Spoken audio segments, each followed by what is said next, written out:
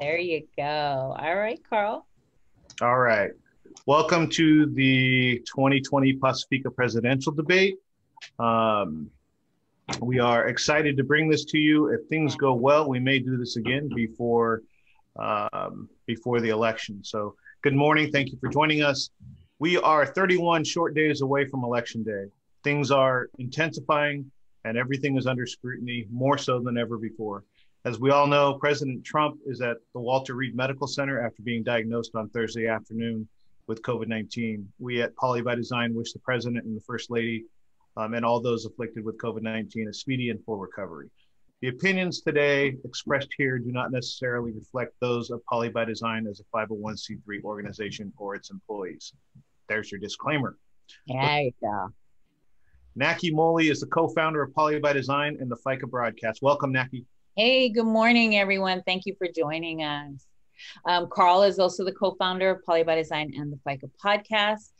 We are not um, we are podcast hosts, not professional moderators uh, or political analysts. So we're going to do our very best this morning. So bear with us.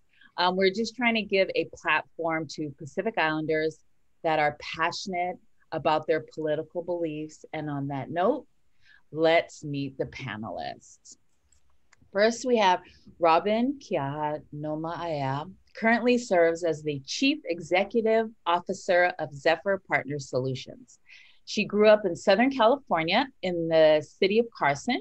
Robin is Samoan Afatasi. Her dad's side is from Hawaii by way of Falelatai, Samoa, while her mom is from Michigan by way of Eastern Europe. Oh, thank you.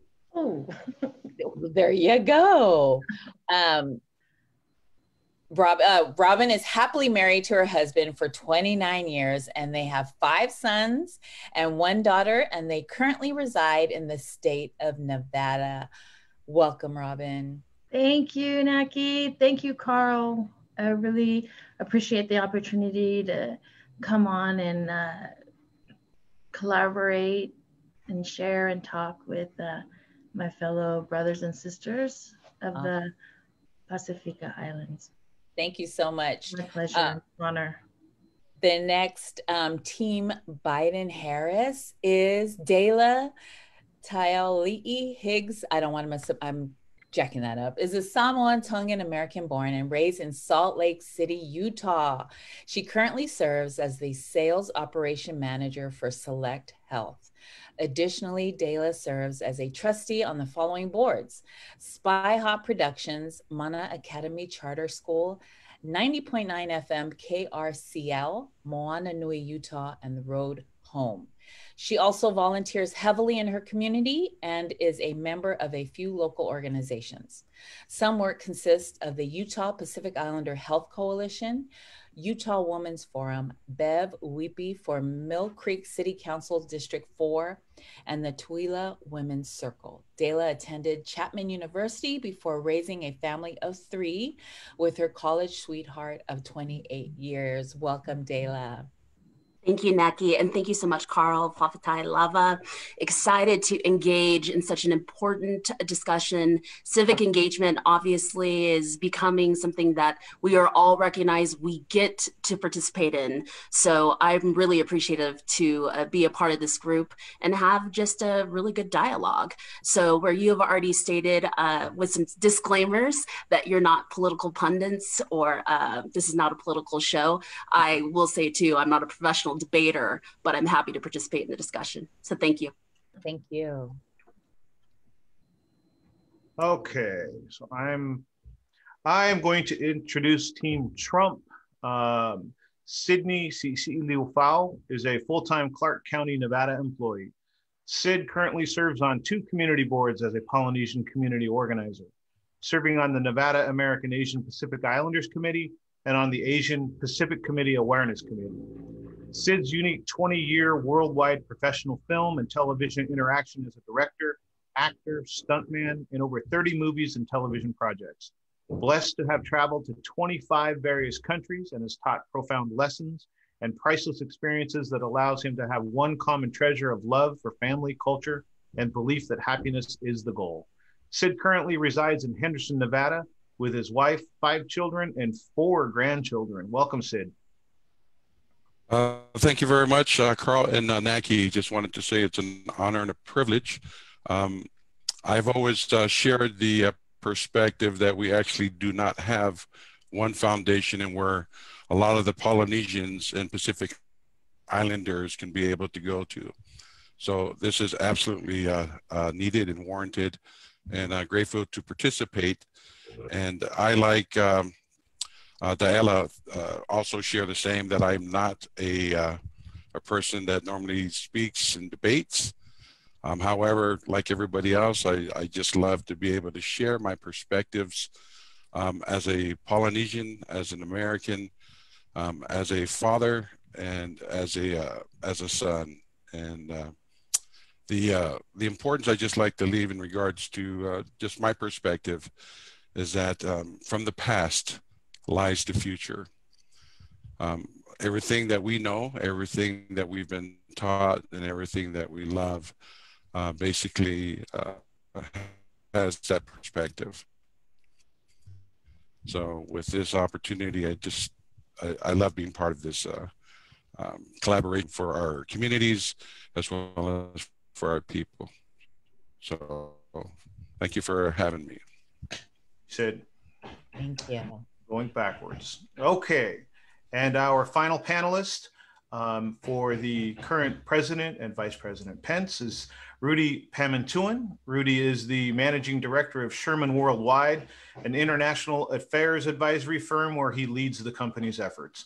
Prior, Rudy served on President Donald Trump's transition team and was an appointee for President George W. Bush, serving as chairman of the President's Advisory Commission on Asian American and Pacific Islanders. Rudy currently lives in Henderson, Nevada with his wife and three boys. Welcome, Rudy. Thanks, Carl, and thanks, Nackie. And uh, special thanks to Poly by Design. Um, you know, there's not a lot of opportunities, especially with the pandemic, to have the community get together and chat about issues. So thank you for giving us a platform to do that. And I look forward to the, the exchange. And, you know, just a mm-hmm. reminder to all that even though we may be on different teams, uh, after elections, we're all one big family. So it's right. all about the community first. And uh, I look forward to our discussions. Thank you. Awesome. Thank you, Rudy. Uh, okay, I'm going to stop sharing and we're going to go to um, I, I had some acknowledgments here. Um, I would like to acknowledge and thank Maury Monamea for coming up with this concept for our community. This really grew out of um, this grew out of posts and messages on Facebook. Mm-hmm. Um, that's the genesis of us all being here today um, on this platform was Maury's idea. So thank you, Maury. I'd like to thank Talavo Almavai for all of his hard work making the connections happen. Um, he was the go between for a lot of us on here today and mm-hmm. creating the awesome flyers that you saw on social media yesterday. Um, I'm also extremely grateful for our two fact checkers today.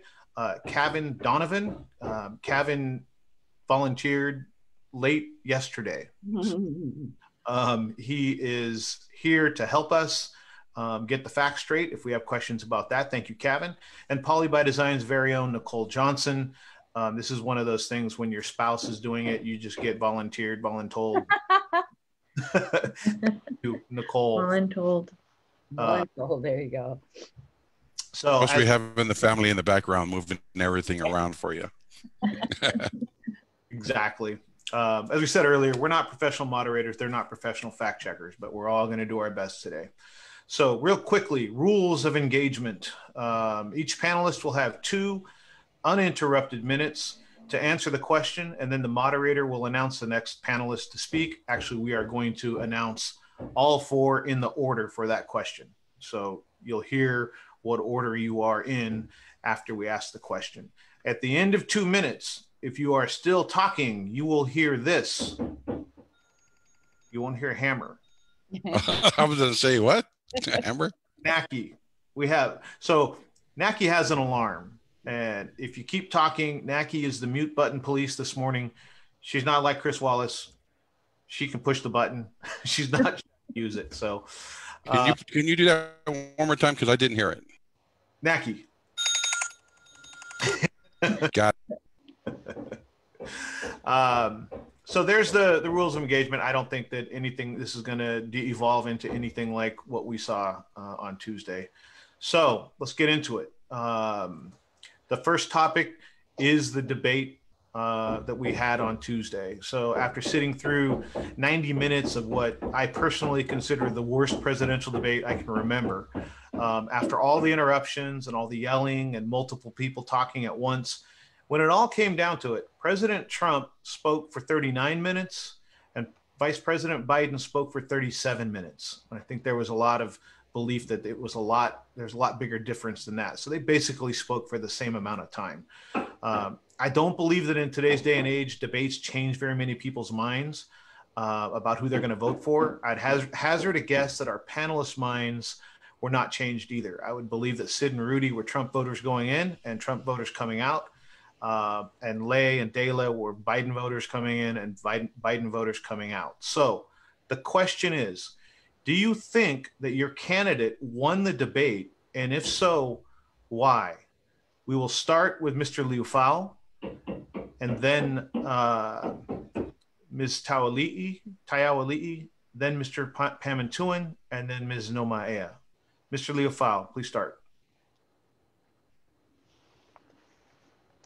Well, I'm going to this where I stand in regards to uh, the support for uh, my president. Um, I uh, I believe that uh, he was getting out some some major points in regards to um, policies. Uh, I think in regards to the overall um, bantering back and forth, uh, the aggressiveness, um, I'm going to say as far as for the country, which causes division. The country doesn't win. We do not win. Um, but having said that, um, there's uh, there's a perspective that for uh, for us in regards to what policies do, people can say what they want to say and promise what they want to promise, but, but at the end of the day, it's what they get done. So the actions of uh, of our president um, speaks very clearly um, and then I would just say that uh, having seen the actions of uh, Vice President um, Biden and throughout his career, uh, his actions speak for itself, uh, which also does not show and note much um, as far as the policies that uh, that he has brought forth and changes that uh, as Americans that change their lives. So in regards to to that aspect, I'm going to go ahead and and just share that I believe the President of the United States um, is in a fight for his life, and, in which really is a fight for the country's life. And so on that platform, I will stand behind the policies that he's uh, instituted and that has benefited uh, all of us as Americans.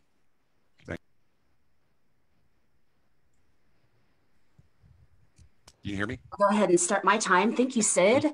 So I will go ahead and just begin by saying I think that my family won the debate that just happened because I will self report. We absolutely, and me personally, um, came into that particular day knowing where my vote will stand and stay. So here's where I'm at. My personal experience is such that I'm tired. These last four years have been grueling. And I did not believe that particular night I was going to see or hear anything that was going to advance or change my mind about where these two um, leaders stand.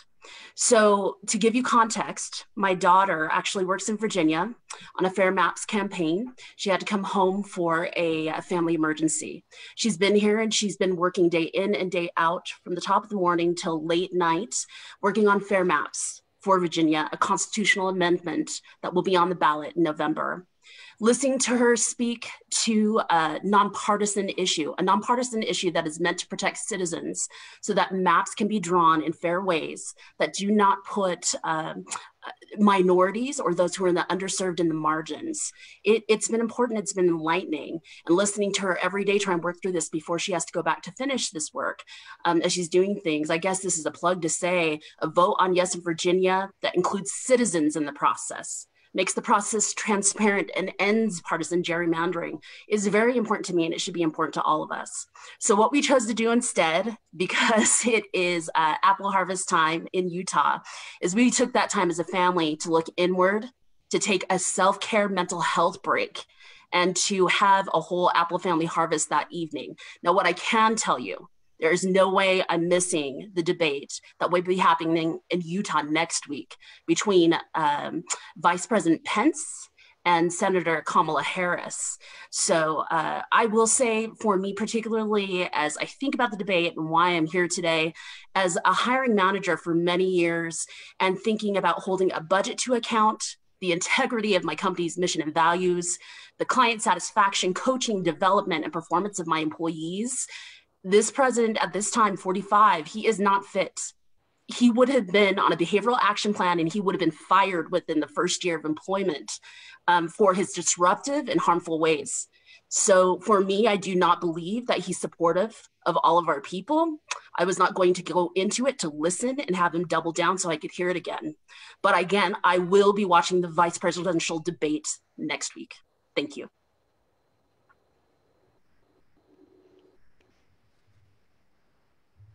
Oh, what happened here? Should I just go right into it? Yes. Thank you so much. Um, yeah, I, I, I, I kind of follow Daela's uh, position on the debate. I, I missed part of it, and I made it a point to watch a lot of the highlight on the highlight reels, right? But what I think what was uh, interesting about it is it showed that there was a clear uh, uh, difference between uh, President Trump's policies and Biden's proposed policies.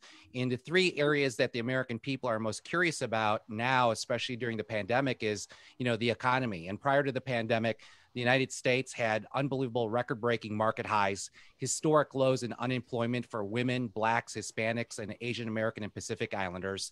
And the American people want the economy open back up so that we can continue continue that trend. Secondly, on law and order, the president sits very firmly and aggressively uh, against the rioting and the protesting that's occurring, uh, causing murder, violence, and destruction throughout the country. Uh, as the president had indicated, uh, many law enforcement unions and organizations and associations have changed their support and now are uh, representing and, and, and supporting the president. Um, and finally, on education, uh, there's a lot of states out there that currently have schools that are closed. There's a lot of distance learning. Uh, and once they're open, there's many children uh, that are tied to failing schools. President Trump has uh, stated uh, forcibly that uh, he supports parental choice, and with parental choice is school choice. And so, in those three areas that are most important to American people right now the economy, law and order, and education I believe the president has a track record of strong support in where the majority stands. And looking forward, uh, has great policies uh, that he'll continue to pursue and implement in the next four years. Thank you. Thank, Thank you. you. Ms. Noma'aea. Thank you. Thank you. You know, I do agree with Sid in his comment of um, the nation did not win that night. The nation did not win. And, you know, we all witnessed, except for Daela, who was the smartest one of us all, mm. um, that we saw three old men screaming at each other. No one really listening, no one being able to get out their point or clarify their stance. So, how anyone walked out of understanding any policy, whether it be economy, law and order, or education, or the handling of coronavirus, I honestly do not know how anyone walked out with a clear understanding to make an affirmative decision if they are still on the fence. I mean, there's so many of us who are very set in who they're going to vote for and the things that they stand for with this nominee. And um, I think, uh, to quote one of uh, the um, newscasters, that was a hot mess inside of a dumpster fire, inside of a train wreck. And he didn't differentiate between the Republican side or the Democratic side, Biden or Harris. It was as another one said, uh, ish show. And forget about the lack of decorum. Like there was a lack of just because a human decency and having uh, just a functioning adult who speaks coherently. We could not get anything out of either side, and it was sad. I was I was very very disturbed afterwards. So I think I hope we can have a better one the next time around. Thank you. Thank you. Okay, um, if there are points that uh, any of the panelists would like to address or rebut that has been made, um, I would just ask that if you do have one that you would like to address, that you um, speak to the person. So name the person that, that has the point and what the point is, so listeners know what the issue is that's being discussed. So I'll open it up to anybody that wants to rebut points made by the other side. And if not, that's okay too. I, I do have a question for Rudy on the economy. Um, you know, I keep hearing uh, Trump say that, you know, the economy's turning the curve, we're coming out of it, you know, COVID is under control and you know things are getting better. And i think mason mainly he's talking about the stock market where the majority of us who has stocks? Like who who really has that uh, ability to set that money aside to um, invest? Not a lot. So the stock market to a lot of us just means can i get into a market to stock up for food for the week so we're like really not even speaking on the same language. So I, I don't see the economy roaring back like he says. And, you know, I, I, I didn't understand that comment as well. And as far as law and order, I still need a definition of what he means by law and order because there are rioters on each side, and then there are peaceful protesters on each side. And to categorize either side as being one more than the other is just not true. It's just not true. So that's just my perception of what I see. Who's not for law and order? But when we don't have that defined by this president, um, that's concerning. Thank you, Lay. Um, so, Rudy, the, there's that's a fair question. Is the booming economy that Trump talks about um, is it participated uh, in by all? Because I do get 401ks and and the stock market is up, but is that um, is that something that that all of America is sharing in?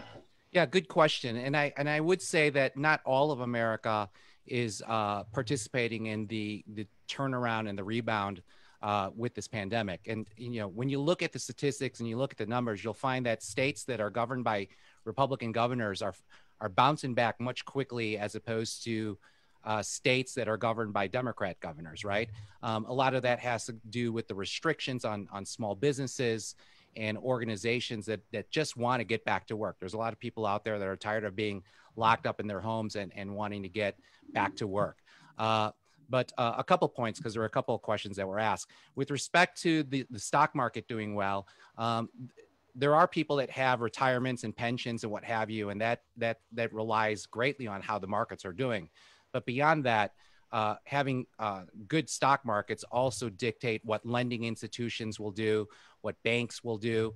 And so, access to capital to those that need capital to start their small businesses, uh, the ability to reinvest money to create more jobs. You know, there's a there's a spillover effect when the stock market is is doing well. And then, with respect to law and order, um, you know, the one concern that we have is that uh, I do agree that there are there is violence on the extremes on all sides but there's only one party that's asking to defund the police and change the way that law enforcement is approached in our country. And so when we see high growth in violent crimes throughout major metropolitan areas, uh, I live in Nevada. There was an article that just came out that we saw an increase in violent crimes. Um, there's a reason for that. And a lot of that is the rhetoric of the far left and and and I think that's why Middle America is is making law and order a forefront issue in this coming election. Ultimately, people want to be safe, you know, but when it comes to the economy, when it comes to education, and across the board, none of that can be achieved in great success unless we first take our streets back and we bring law and order. Thank you, Rudy. Uh, we will definitely we're going to discuss the social unrest um, in a d- different topic, but those are all things that are on America's mind. Um, Any other address to address? Sid, were you, did you have something to say? I think Sid might be frozen up. You there? Yeah, Carl, can you hear me? Yes. Can you guys hear me? Yes. Sid, Can you your hear me? connection has been. Okay, just wanted to let you know that I'm, yeah, I, I I have some major connection issues that uh, have been going on ever since uh, I moved in this house. So I apologize if you see me keep on going in and out, not able to go in slow as well. Um, but I do want to just, in regards to the media, um, that uh, you know it was a hot mess, and uh, uh, a uh, dumpster fire, you know, all all rolled into one. Um, but let's also point out that that actually has come from the media from the left. So um, they did actually end up saying that uh, it was all because of uh, Trump. So I just wanted to mention that uh, that they did blame him. Fair point. The media definitely plays a piece in this. Okay, we are going to move on to our next topic. Nackie, take it away. Okay, awesome. Um, so, our next topic is COVID 19. Um, President Trump has been criticized by the left for moving too slowly and accused of downplaying COVID 19. We are still without a vaccine, and parts of our country are still in different forms of restrictions from what we knew as normal life. America is reeling and looking for solutions and action. My question is why should America trust your candidate to deal with COVID 19? And we're going to start with Daela, then Rudy, and then um, Leah, and then Sid. So, Daela, Uh, go ahead. Yes. Okay. Thank you so much. So, you know, in spite of the threat and the warnings from intelligence agencies and health officials, it absolutely has been frustrating that we are at the forefront um, as far as leader, the leader in cases and deaths. So, 7 million uh, cases, over 7 million cases, and then over 200,000 deaths. And while the United States represents only 4% of the global population, the country has had 21.7% of the world's confirmed cases. I do want to talk about what this means to Utah because I'm so proud of the Pacific Islander community and how they have mobilized to go ahead and address this at the local level. And with um, Vice President Biden's plan, which I think is tremendously outlined at his page about what he would do. Um, it's exciting, and I feel good about it. And I, it, it again, it just gives me peace of mind uh, in the safety components of that. So, if I could just give you some last, uh, some most recent updated statistics, for Utah, um, 2,747 Pacific Islanders have contracted COVID 19. 29 cases in the last 24 hours. The Pacific Islander case rate 3.7 times higher the overall state.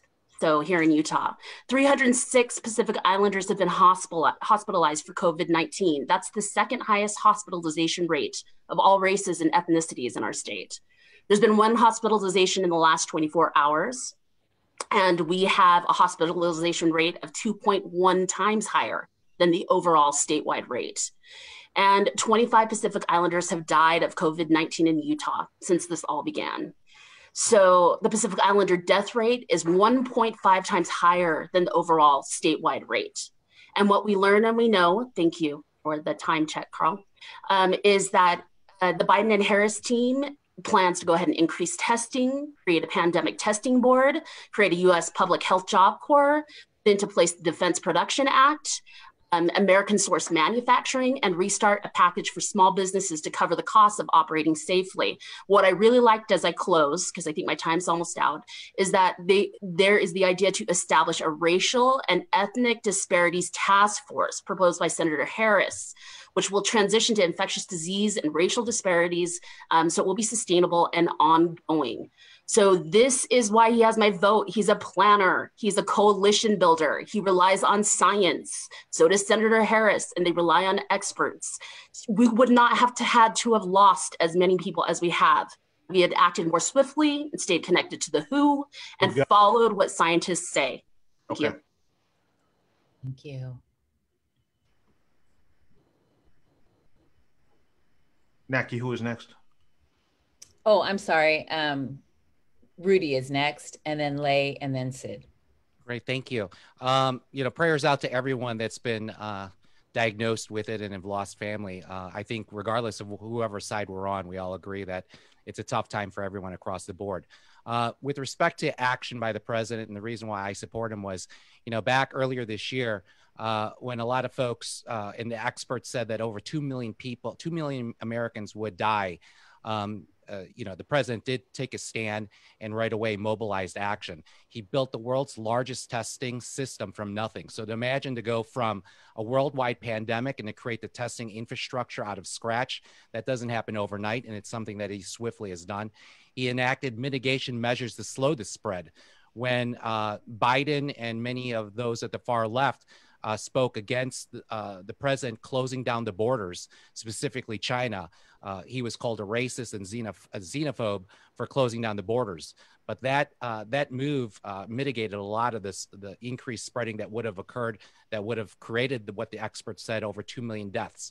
Uh, he mobilized a public and private sector uh, effort to secure the needed supplies. Early on, when people talked about the need of ventilators and PPEs in the various states of high concentration of early diagnosis, we saw that it ended up being a surplus. There were a lot of extra ventilators, there were a lot of extra and boxes of PPEs that were later on mob- uh, sent out to other countries in need. Um, finally, he's launched a, a, a very high speed, efficient delivery of vaccine and therapeutics in record time. Um, to, to, to work on a vaccine, he has made a commitment that it would happen and it would come out within the next month. To come out with a vaccine from a unknown uh, disease or virus uh, in record time is amazing. And finally, one last point I want to bring out he addressed this pandemic from a holistic standpoint. It wasn't just about health, uh, it was also about the economy and there were many small businesses and employees that were made unemployed. And so, through his efforts and leadership, he fast tracked uh, small business loans. Uh, that are considered grants and forgivable loans to small businesses that were shut down based on based on uh, their financial needs, and then fast tracked uh, PUA and unemployment to those that were made unemployed as a result of the pandemic. So uh, across the board, um, there's some folks that may say that Biden may have a plan, but I would take uh, action over a plan any day. And the president has shown uh, through his management. We got to stick to the pandemic you, that he's done a great job. Thank you. Thank you. Great, thank you. All good points, Rudy. Um, uh, each one of you. You know, just to circle back, like clarify that how many people do we have in the world? Anyone? Anyone? 7.5 billion people in the world. And let's retract those statistics that we brought forward. The US is four, one, two, three, four percent of that 7.5 billion people but we have over 20% of the cases. How much do you need to read into that? This president did not take this COVID seriously. Had he did, he would have come out as soon as he knew about it. it you know, he can say all day long that he shut down the travel ban from China, but even after he did that, almost a half a million people still traveled between China, Europe, and the US. And that's a fact. So you can't tell me definitively that that actual shutting down China travel made any difference. Now, look at today. We we used to be able to travel all over the place. Countries don't even want us to come into their countries anymore. We can go to like four countries. I don't know. I'm exaggerating on that. Fact check me on that. But literally, I can't go where I need to go as a business owner with companies all over the world and internationally and, and nationally. So you know, to say that this president handled this pandemic with urgency and fervor and uh, truth is not true. He he sardined people into rallies. He did not enforce masks. And look at we have today. Now we're hitting that. That's all I have to say on that. Thank you, Lay. All right. Well, I just basically want to say that I'm glad that we do have, have fact checkers because uh, some of the thoughts that I've heard uh, definitely need to be fact checked um, because we're talking apples and oranges. Uh, first of all, um, we're talking about uh, if, if we're talking about the protest versus rallies, then let's call it what it is. Okay, that anybody, if they're susceptible of getting sick, then they're going to be able to get sick. Um, in regards to whatever the illness is, and I'm just going to let you know that uh, as uh,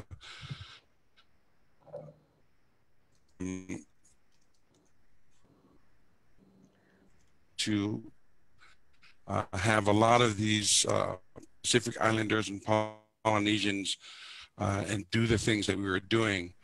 Well, I just want to point out that Utah is a republic state. So they're not closing things down and they're able to do those things uh, because we all uh, believe that this pandemic, this COVID 19, which everyone agrees is absolutely real. Uh, I want to say that was um, Wait, did, I'm sorry, you're breaking up so bad. uh, I actually con- uh, contracted in February. Point that I want to make is Oh, I think we lost Sid. oh, bummer. uh, I'm sorry, guys. Oh, Can you you hear me? Yes. Yes, we can hear. Oh, that's much All better. right. All right. Sorry about that. So um, I'm going to f- try to figure out uh, a new plan to uh, to move. Um, but um, I don't know what part you heard or That last heard. Contracted COVID 19. So that I contracted COVID 19 and uh, basically uh, uh, exposed my family to it, uh, exposed others because at the point in time I was actually at Work County, like I said. And so um, I'm in contact with a lot of people. Uh, the point is, is that even though that I got it um, and in exposing my family, we got through it uh, in a very short time, which is means that five days that we got through it. I was sick within five days that I got through it.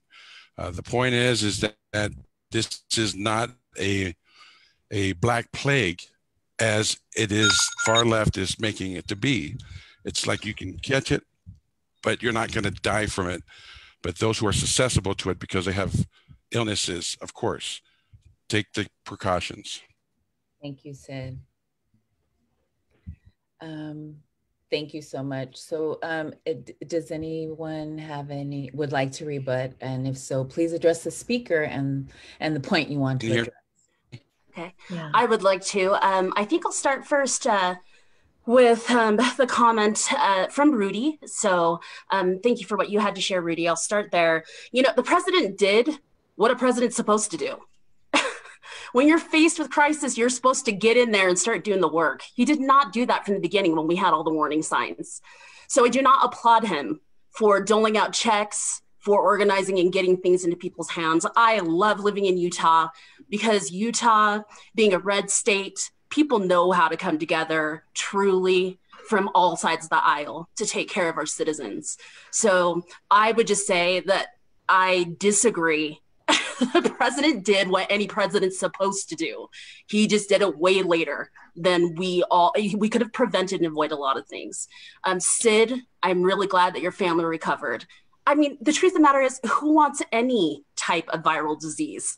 I mean, so to say that we'll get through it, um, and it can take out populations of people who don't have access to care. So, Sid, I will say about the president, what I do appreciate is the dignity and the respect that Vice President Biden and uh, Senator Harris offered to the family to recover. I thought putting aside the vitriol and making sure that they put our country first to say, look, you're the commander in chief. Let's make sure that you're okay and recover quickly. I so appreciated that. And that's what I'm looking for in a president. I'm looking for someone who's presidential. Now, do I believe that this president would have afforded anybody else the same? Who's left, who's blue, who's liberal? No way, because we just don't have someone who pulls us together to join and is looking out for every citizen. And the fact of the matter is, he has access to a drug that hasn't even gone through a clinical trial. Can the rest of us say that? The uninsured, those who have insurance with high deductible health plans. Would these things be paid? Most insurance insurers do not pay for things that are not FDA approved. So that is privilege. That is the difference between the health disparity gap, the wealth gap, and the race gap. Thank you. I do have one point as well. Thank you, um, everyone. Um, and I believe it was um, Sid who had stated that, or it might have been Rudy, I apologize, that you know the president had to start with empty cupboards, had to start from scratch. That is not true. Obama and Biden knew that there would be soon.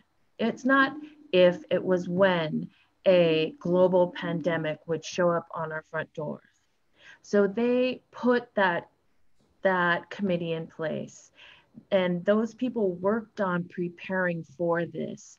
And one of the first things that uh, Trump and Pence did when they came into office is they politely excused the whole organization who was preparing and um, strategizing for this very time in our in our life in in the life of the the global economy the and the US so to say he had bare cupboards that's offensive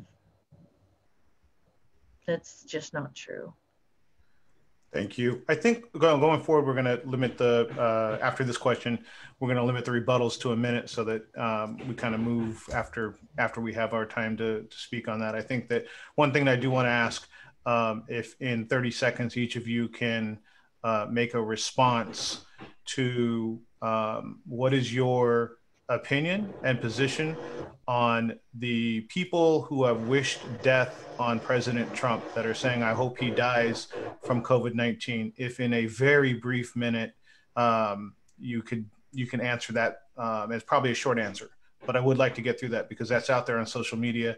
Uh, it's it's something that we need to quickly talk about. So let's start with. Uh, I just got timed out. My own. Let's start with the. Let's start with Rudy. That's great. Um, could, uh, I, I, will say that I think we all agree. I think both sides of the aisle and to the extremes, there are offensive people across the board. So, uh, what that person said and what they stated, uh, I think is terrible. Uh, where she stands politically, I'm not going to hold against her. I think we all equally can agree that there are offensive people on both sides of the aisle, right? Um, that being said, could I just respond to a couple things regarding the coronavirus from the previous rebuttals. I'll be real quick. Uh, mm. First of all, on the on the topic on the empty cupboard issue, um, there was an issue with respect to when the uh, Obama Biden folks uh, addressed the swine flu issue. There was massive usage of the PPEs, so a lot of masks and ventilators what have you were uh, utilized during that time. Unfortunately, what happened was through funding, uh, those coffers weren't refilled, and so there was a, a little bit of a deficit of uh, materials and, and necessities in that regard. Uh, with respect to America, so is it empty cupboards or a little bit of a dis- deficit? And why was there a little bit de- deficit? Because there was no more um, committee to continue on the fight of global um, pandemic force. I could see your point, but if if if the Trump administration was stepping in and there was a uh, amount of missing inventory, uh, that wouldn't be the fault of the person stepping in. It's it was it was used and it just was never filled back up. I disagree. And in, with respect to testing, uh, the United States, uh, in comparison to the rest of the world, may have a higher concentration, but a lot of it also has to do with the fact that we have more tests uh, uh being initiated and deployed to our population. Uh, we've got countries like China that probably have a higher percentage, uh, but they're, they haven't been very truthful in their numbers, as well as other countries. And then with respect to the travel ban, the travel ban was was uh, for foreigners. Uh, if you were a Chinese American, of course, we were not going to uh, let you not come back to the country. So as long as you were American and you were in foreign land, uh, the president did allow you to come back. And then one last point on the on the statistics with with respect to deaths. Again, experts had claimed that early on America would see two million deaths.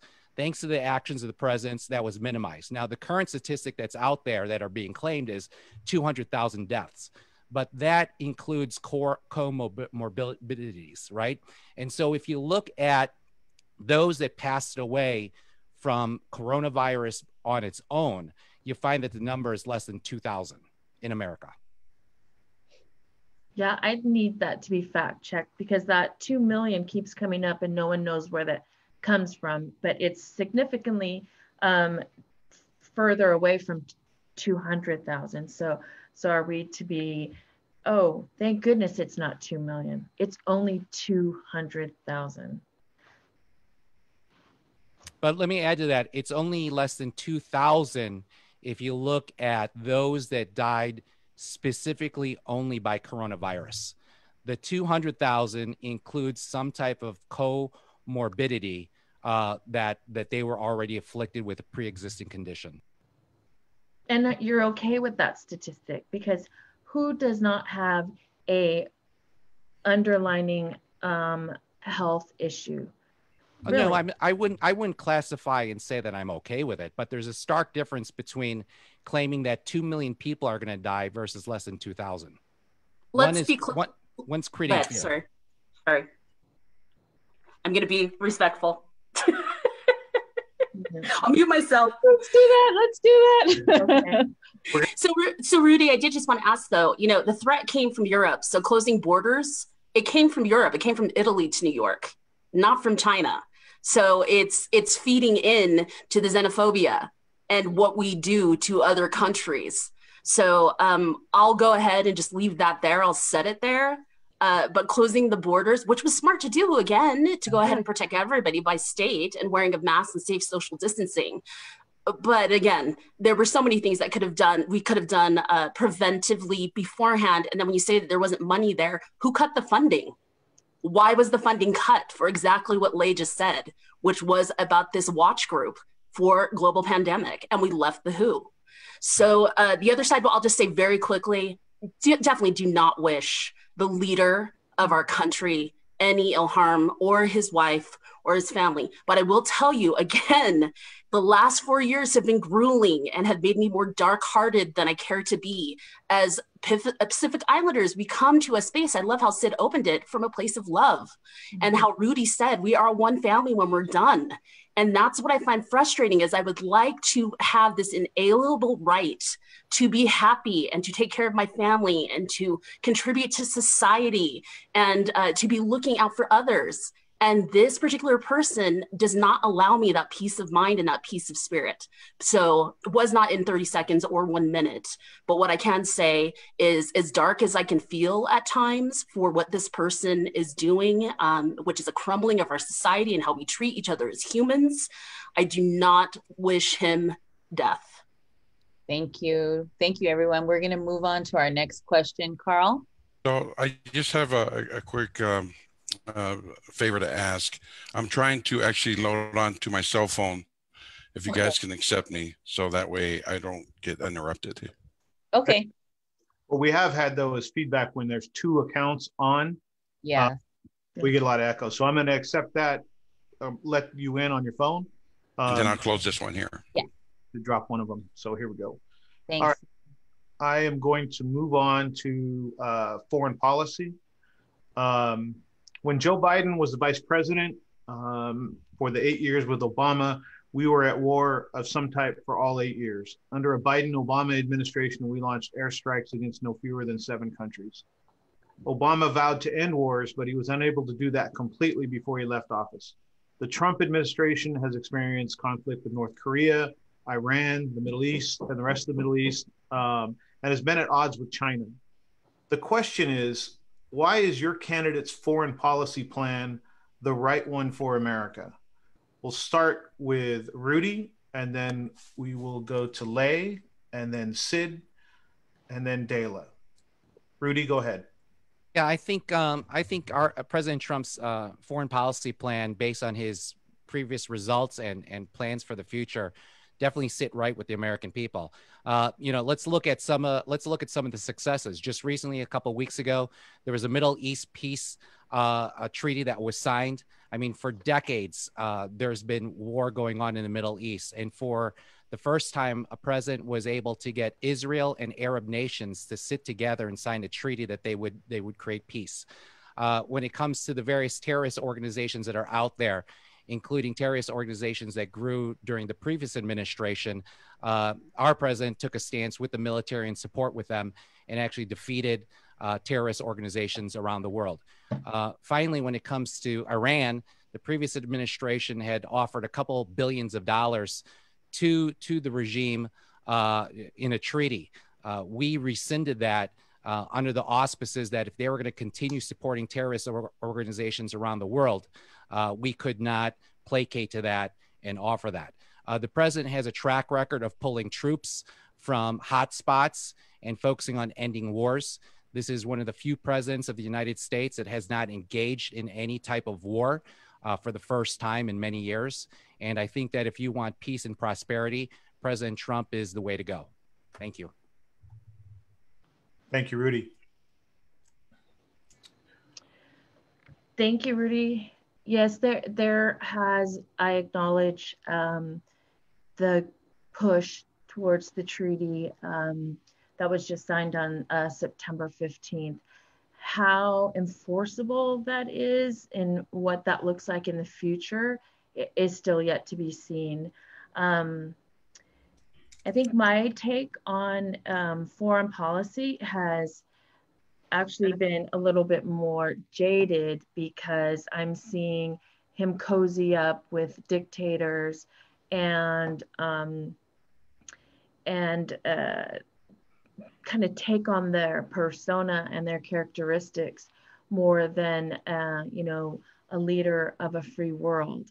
And that's concerning especially in light of the accusations that are coming forward with what uh, trump may or may not owe to foreign um, entities and how that put, puts the us at risk when you know his foreign policy is a whole different language than what we're used to um, going out and creating the treaties and creating some balance and some type of peace across the the globe.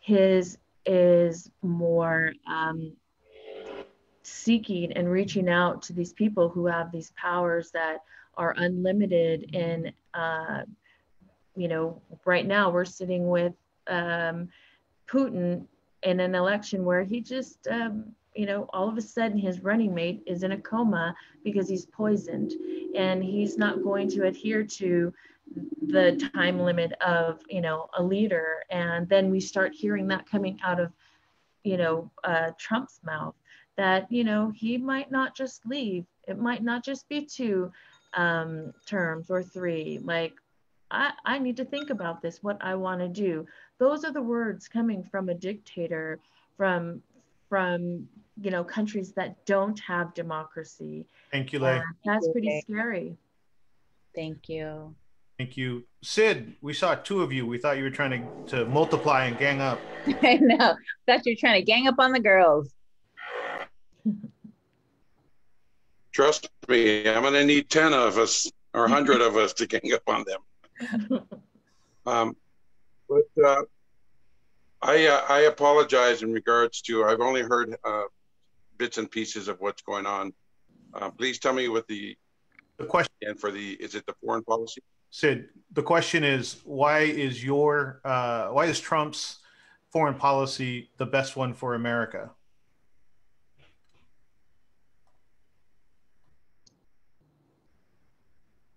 he's on mute. Can you hear me? Yes, now we can hear okay. you.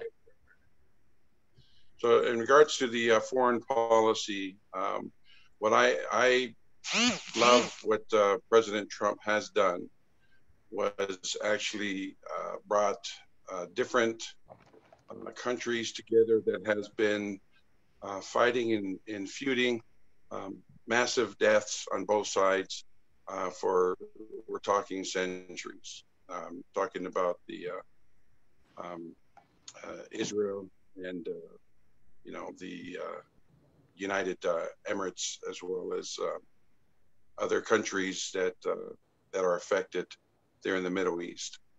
Um, I uh, I love the fact that uh, he went out to uh, North Korea and uh, met with uh, um, Kim Young Jong. Um, I love the fact that he meets with with with Putin with the the British um, you know prime ministers and a lot of these people you know, for whatever reason, you can speculate from A to Z. Uh, don't give him the respect because he's not a politician. Uh, he's a person that I see um, that has the gravitas of going to these places and saying to them, "What can we do to make this happen? What can we do to uh, uh to be able to to bring everyone together?" So, in regards to um, the uh, the policies in regards to um, you know where the country stands. Um, we can support our president, or we can continue to be divisive and unsupportive uh, just through uh, hatred. And I just wish that that's what we see uh, from uh, those who support Trump. Thank you. Thanks, Sid. Taylor you. So I'm a little confused. Um, I guess I would say, uh, in terms of foreign policy, when it comes to, again, I'll just um, converse with what, or uh, actually just reference what Leah had said you know, communicating and getting together with dictators is not the way to go. We are at risk. Our country is at risk. Our elections um, and uh, questioning Russian interference, Vladimir Putin. Most leaders don't go visit Kim Jong Un without some sort of what are we going to talk about? What are we going to try and accomplish together?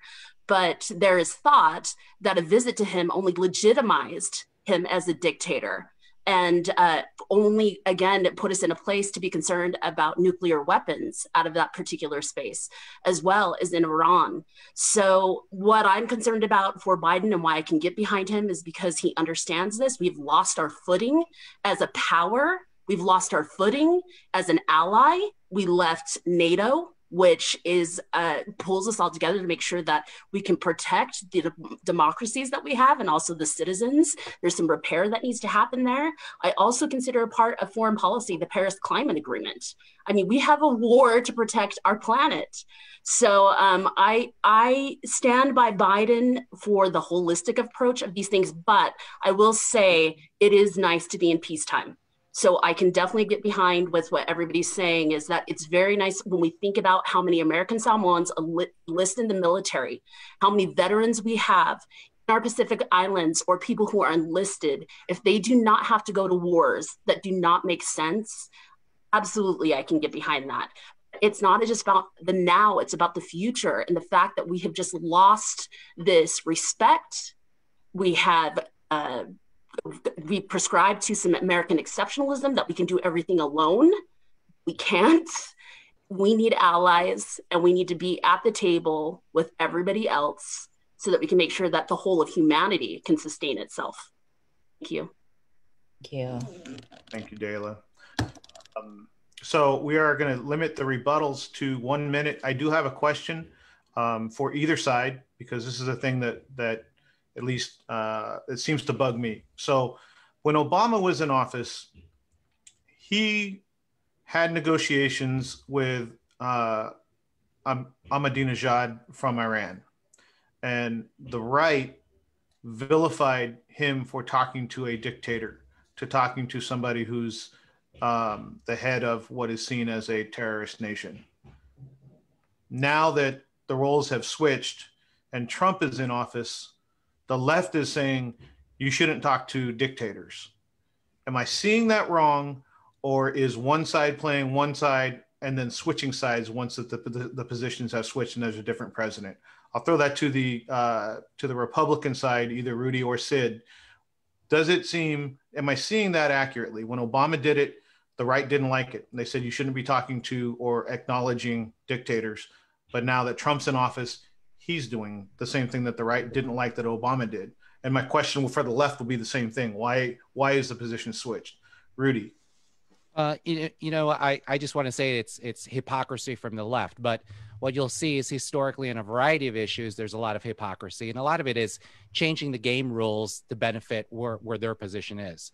But to follow up on a couple quick points, uh, with respect to NATO and other alliances, what we've found is we haven't broken away from them. What we've asked is other nations and allied nations to pay their fair share. For, for, for over decades and centuries, we've been paying and footing the bill from every international institution from the United Nations to the WHO to various military alliances. And all we've been asking for is for our alliances and our allies to pay their fair share. And what we can see in a lot of our military alliances is that through strength, uh, our president has worked with the leaders of Europe, and they have all anteed up, and they're, they're putting more money to protect, protect themselves and our alliances. Uh, the president is about following through with his promises. For decades, every president on both sides of the aisle promised Israel an embassy in Jerusalem. It took President Trump the ability to do that. Uh, many presidents com- have commitments of defeating terrorism. There was only one president that defeated ISIS, and he did it within a couple of years. With respect to Iran, uh, the, you know, the biggest funder of terrorism around the world, the president took the step and and uh, uh took down the top general from Iran to send a clear message that America won't tolerate terrorism and harm to democracy and freedom around the world. So, our president, through strength, has shown a, a willing commitment and ability to stand firm with allies, and allies are responding by uh, offering greater commitments in their partnerships with our country and our efforts throughout the world. We got to move on.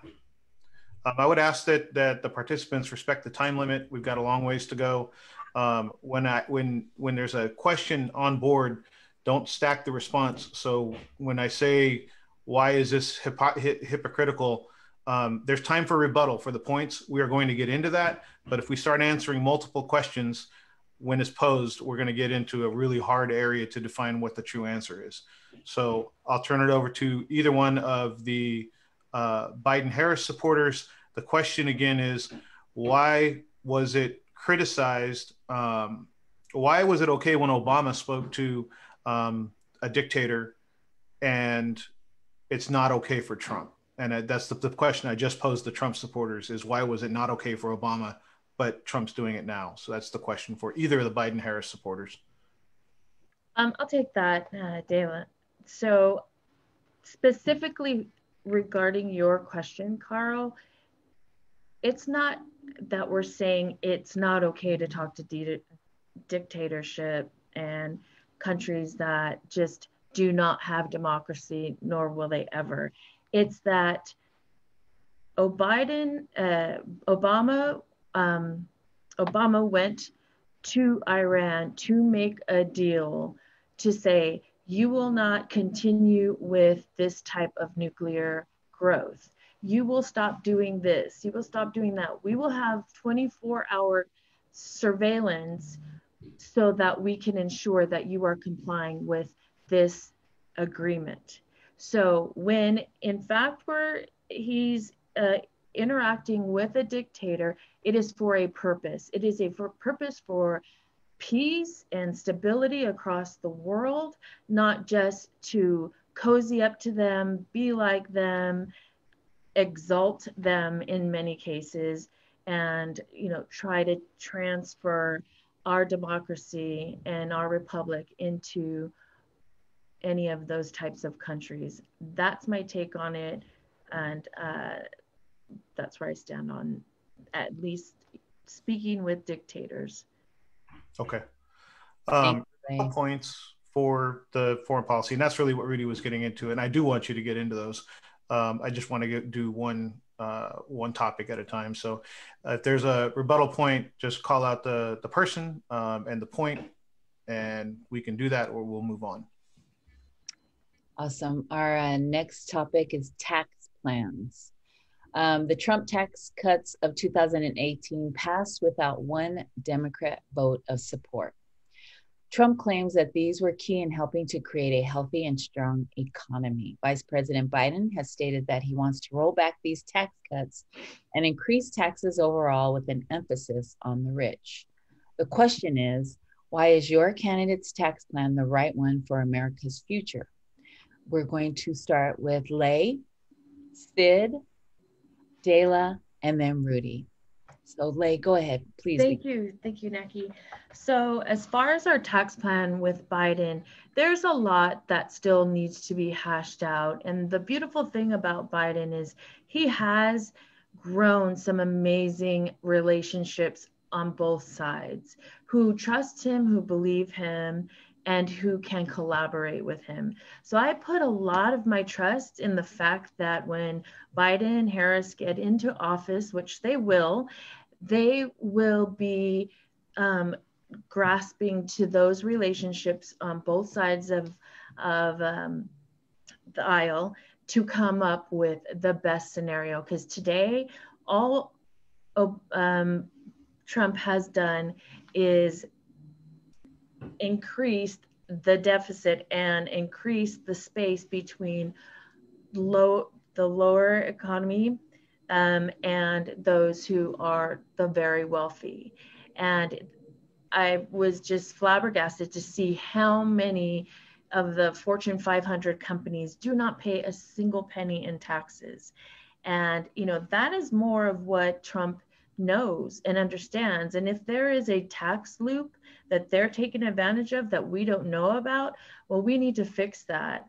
And uh, I was just watching a uh, real quick. I was watching um, Ted Cruz, and I don't think I'd ever agree with Ted Cruz on anything, but his tax plan is very simple. Everyone pay 10%. No matter what you make, you make 10%. I'm like, I could get on board with that. I am not, you know, closed off to hear, you know, some collaboration and get to a perfect place. But the middle class is basically diminished. There's the haves and the haves not and that needs to change. Thank you, Lay. Sid? Uh, thank you, Nackie. So in regards to the uh, the uh, tax plans uh, in regards to uh, for our economy, so um, I believe that if you're going to take a look at what Trump is and say that uh, his stimulus has increased, let's look at the reasons why. So the stimulus, which has to uh, be given out, the first one at uh, I believe it was a, a 1.2 trillion. The second one was uh, at uh, 2.1 uh, 1.2 trillion. Um, in regards to, in, in you can fact check me on the numbers, but my, my point is that when the economy is hurting because we're being closed down by a pandemic, which is not the death plague, um, and people are being forced to suffer um, because we have no work. We're not able to go back. Uh, many states do not open their states. Uh, as a matter of fact, uh, we're talking about that. They basically have their side uh, or their ways to be able to close these things down. Um, our cities and, and states uh, for the uh, for the agenda. Uh, that agenda is basically to uh, make sure that Trump's and um, and that's that's my view is that uh, they have been trying to impeach him. They've been trying to to hurt him from the beginning. And Trump has been doing nothing but helping American people. Again, that's my view with Thank the you. policies that he has in place. Thank you, Sid. So if we're okay, so thank you. Daela. Yes, thank you so much. Um, so homeownership for the general population in Utah is approximately 70%. It's about 38% for Native Hawaiians and Pacific Islander Utahns. 56% of NHPIs who live in the greater Salt Lake City metro area are rent burdened. They pay more than 30% of a household hold income towards rent. 71% of Tongans living in Salt Lake City are rent burdened. So this is to say that affordable housing, utilities, and food, food insecurities are a big deal Okay, so if that's a big deal for us here, um, it might be similar situation for people in other states and other cities. The reason why I mention it is because it gets to what Lay is saying. The tax the taxes that have been put into place they benefit the wealthy. You know um, they're getting richer. It's the haves and the have mores at this point. The tax plan that biden is putting in place it bolsters the middle class which is where i sit I'm lucky to sit here, but I recognize it would probably only take a, two to three paychecks for me to be in a situation where very likely I could be in a homeless situation. Um, we are also finding um, that Americans through the pandemic, thank you, Sid, you know, they've lost an income or they could be losing or uh, losing a home or it could be foreclosed. So when we get back to these tax breaks or tax plans, uh, Vice President Biden's tax plans are there to go ahead and help protect the middle class so they can go ahead and sustain because the wages we're making are not keeping track of our everyday expenses. They just aren't. And what's also happening is at the highest level, that top percent of wealth, where is that money going? Is it being reinvested into the workers, to us, the essential workers who are carrying everybody? Or is it being sent overseas? Is it being put into innovations? There should be taxed. There should still be things that are happening to tax the rich in a way that makes sense that the rest of us can still survive. So that is my comment as far as tax. And when we think about stimulus checks, that is socialism. That is looking out for everybody. So when we get into the right and the left and all the way around and what happens, that's how I would answer that question is I'm looking out for the middle class. That's why he has my vote. Thank you, Daela. Rudy? Yeah, I, I remember at the start of the last election, many of the far left pundits put it out there that if President Trump was elected president, the whole economy in, America would crash. And we see, especially pre pandemic, that that was not necessarily true. Uh, when the president really worked hard with the Senate and, and the House to pass the first major tax reform that was signed in, in the last 30 years.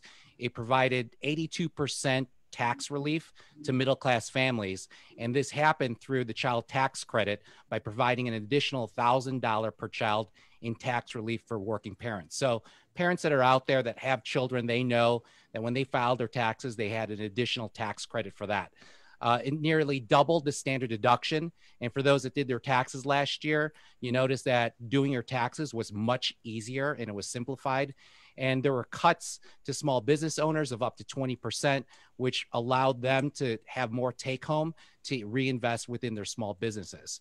I mean, ultimately, when you compare Biden's plan with true action and results, it's easy to to to, to pick uh, the the results of that. Finally, uh, the you know, Biden talks about the Green New Deal. The problem with that is when you start creating incentives for a new industry uh, alternative energy and renewable energy and, and therefore uh, it's almost a gamble right? So so the problem with that is he's looking to not only increase taxes but to create some type of incentive that would cost taxpayer dollars to reinvest in a new industry and that's a big gamble. So when it comes to the middle class i like the trend of what i see with respect to the tax reform and i look forward to more decreased taxes for the middle class. Thank you rudy would anybody or does anyone have a rebuttal? I think not necessarily a rebuttal, but thanks, Rudy, for your background and your experience as a professional in that particular space. It's always good to learn. So thank you. I did want to add, though, that what I see in Biden's tax plan is the expansion of the child tax credit to $3,000 per child ages 6 to 17, 3600 for children under 6. So it's giving more there. Tax credits that will help working families afford uh, health insurance, tax credits that will help working families afford childcare up to 8,000K, tax credits for seniors, tax credits to help families buy their first homes and build wealth up to 15K, home buyers receiving the credit upfront instead of waiting to receive when filing taxes, and equalizing tax benefits of retirement plans. Your specialist, you're in those spaces to really know tax code, I'm sure, and everything else, but that's what appeals to me. So thank you. Thank you, Daela. And I just also, I'd like to share a quick thought. Can you hear me? Yes. Yes, we can hear you. Okay. So um, I want to, okay, I, I want to uh, agree with uh, uh, both with uh, Robin and and, uh, and Daela that uh, one of the issues that I honestly truly believe too uh, has to do with uh, being a career a career politician, and so the rich get richer, um, and that what I truly believe in regards to those who are making sorry those who are making the decision um, in regards to taxes. So um, again, uh, we have uh, Biden who's been in uh, um, the politics for over 40 years, 47 to be exact. And um, now he's going to basically come out and, and bring out these uh, these uh, plans that are supposed to work. So I again, um, that's what I'm looking at, and so is uh, many of the silent majority of uh, Americans are when it comes to um, all of a sudden coming out with a plan that's going to work for for everybody.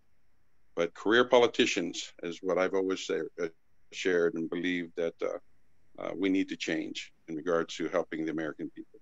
Thank you, Sid. I I'd like to um, piggyback on that. I absolutely agree, and I think this is one thing that we all can agree, uh, coming from our different perspective backgrounds and um, taxes. But you know, we're in it. There's the elephant in the room of those big corporations who have paid zero taxes zero like the most the richest guy in the world jeff bezos paid zero taxes not only did he pay zero taxes but he got a refund of in fact check me on this around 70 million dollars in refunds and you know so we don't have those wonderful tax attorneys who can find all the loopholes which why are there loopholes? So I am encouraged and am excited to see, you know, this candidate, um, Biden, coming from Scranton, knowing what the middle class is about, and having lived through that, um, bring a bigger voice to uh, address the tax disparity between the classes. I would like to I would like to offer I do agree with Robin that if we could just do a flat 10% tax, I think everyone here would agree to do that. Yeah. I'm in. Yeah. I think that um, the problem with the flat tax, and Rudy would know more about this than me, is uh, the extremely poor don't pay 10% in tax. It would hurt the poor far more than it would hurt uh, the rest of the population. When you look at what taxes poor people, extremely poor people, uh, pay, it's less than that. So if we were to enact a flat tax across all citizens, um, I think the disparity would be worse for uh, impoverished people than than people think. I think, but Rudy, you would know you would know more than I. I just think that we don't pay equal taxes right now. Um, should be the more you make, the more you pay, but it doesn't always seem that way. Question for uh, I guess for Robin, um, because you brought up Jeff Bezos, um, the the opposition would say that Amazon has uh, a million employees. That's a million jobs out there um, that create tax base that um, are buying groceries and all the consumable goods that we buy. Would it is it something that you know some people would say we need five more Jeff Bezos so five million million more people have those jobs. Is that a a, a valid argument in your mind, or is that still he's not paying enough taxes? He's not paying any.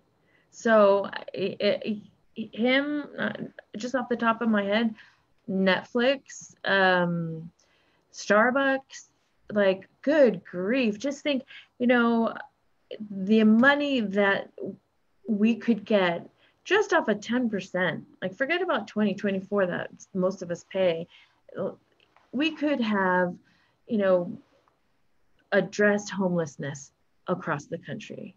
We could have made sure the education, the public education for every child, you know, is met where they are. I mean, there's so many different plans where all of a sudden, oh, we don't have the money for that. We don't have the money for that. But then there are those, you know, top two, 4% that pay zero of the taxes and make up how much of the wealth of this country. Shame, shameful. Makes sense. Nackie, you're on mute.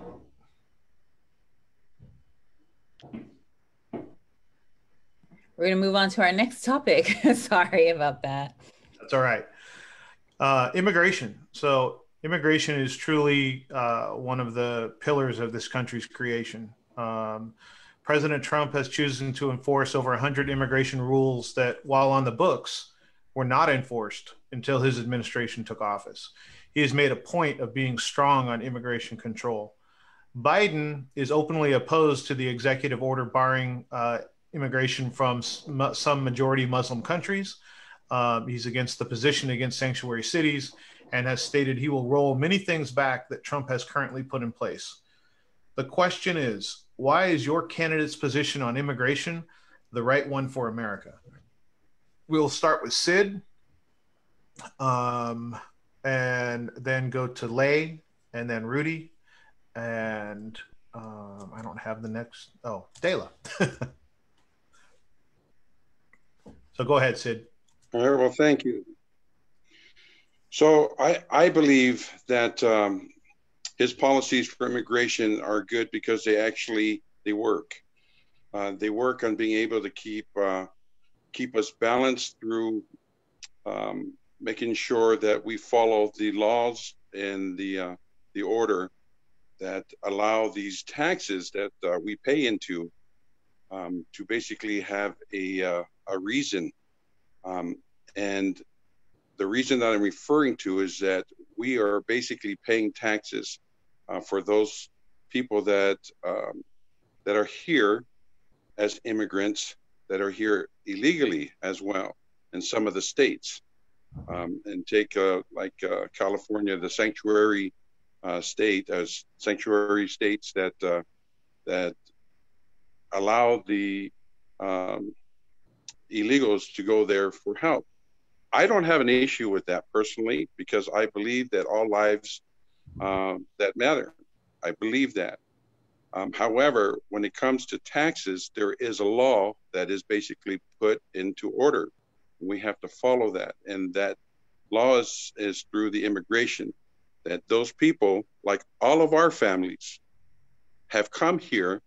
For those who haven't been born here, um, and I'm sure there's a lot of them that have to go through the same process of getting um, legalized to be here, uh, whether it's through a visa, whether it's through, uh, um, you know, a naturalization, or whether it's through being a citizen.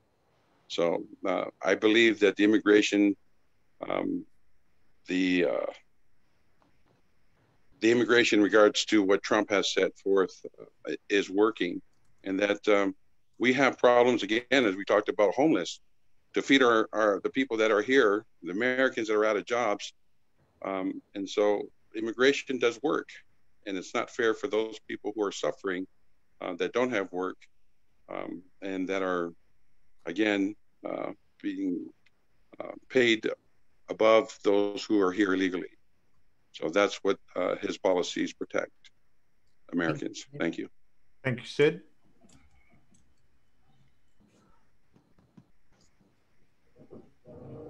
Is that is that me? It's Daela, oh, Rudy, and then Lay. Okay. My apologies. I thought it was last. I wrote myself down as last. Um, you know, for Biden, who who I often think about, and thank you, Sid. Um, understanding really uh, for the taxes that we pay, how do you go ahead and spread and share the wealth? Um, put into that, and as you also had recognized, um, among many of us, our families who immigrated here, and then also thank you, Carl. We are a nation of immigrants. That's from the very beginning. Um, so. Um, where I stand for Biden really has everything to do with DACA protections, the Dreamers, um, that were brought here by their parents um, and didn't have a say. But I find that the dreamers that I meet are contributing to society and have a lot to build upon in the American dream. And who can't um, subscribe to that? So um, for me, uh, why I get behind Biden is because I do have concerns about the dreamers that I know, the dreamers who contribute, and the dreamers who shape the America we want to be and the America that we can be. Uh, I also appreciate his vow to protect asylum seekers because with climate change and climate justice, it's where people can go if we don't get a hold of this. Everybody is going to be seeking refuge for different reasons if it doesn't have to do um, with human human rights issues. So um, in terms of immigration i do understand that it's a problem. It's been a problem for years with every administration. Um, but where i think me personally where my experience and where my vote always goes this direction is that i hate the idea of um, sending people away that are dreamers. And then also, I just really struggle um, with the way in which the ICE detention centers were put into place and the disgusting and deplorable acts that have happened by separating children from their parents. Um, I think it's a stain and it's a mark on who we are and who we can be. And we are not above other countries in some of these human rights errors and problems, whether it's domestic terrorism or things like this. Thank you. Thank you, Daela. Rudy? Thanks. Um, couple things. Uh, the president looks at immigration as a national security issue, especially when it comes to illegal immigration. And I think it's important to distinguish the difference between immigration that's legal and illegal immigration. And I'm more focused on the on the legal piece. Um, so we just got to clarify that. Um, the president does support merit-based immigration, and so that being said, um, you know, his tough stance when it comes to the wall and increasing funding for ICE. It's actually increased in the uh, number of arrests and indictments of those that are engaged in human trafficking. I think that's been a major issue uh, that hasn't been addressed. That's being addressed finally now. Um, I, so I like his stance on that, and and we're finding that his stance on illegal immigration is actually polling well with Latinos. Um, because many of them came to this country legally. They whatever lines they had to deal with, they did so legally, and so uh, they're not big fans of those that are willing to jump jump the line. Um, the far left, their position when it comes to illegal immigration and the defense of our borders is they want to abolish and defund ICE, um, saying that ICE is a racist group. Well, the, the the men and women of the Border Patrol of ICE, you know, more than half of them are Latino in descent themselves. But ultimately, I think we're where there's challenges that we all grapple with is the situation with DACA. Um, the Department of Justice years ago determined that the executive order for DACA from the previous administration was not enforceable. And so it's been up in the air. I know the president grapples with it. And I think that this is something that both sides need to get together. I know the president and the White House has taken a position asking Congress to to address the issue and make immigration a forefront discussion. Um, obviously, with a lot of issues that have been going on the last couple of years, it hasn't been a top priority. But moving forward, I think when it comes to Congress stepping up, and this after this next election cycle, uh, and with President Trump at the White House, I think we'll find a humane and responsible approach on how we handle DACA. Thank you. Thank you, Rudy. Thank you. Thank you, Rudy.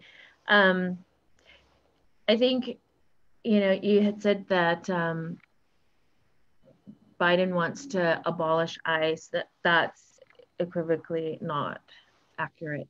There's a reform that needs to happen, and you know, one day you sign up for ICE, and all of a sudden you have this overcrowding on the borders, and you find yourself babysitting and changing diapers and feeding and it is is chaos. That that's literally what is happening down there.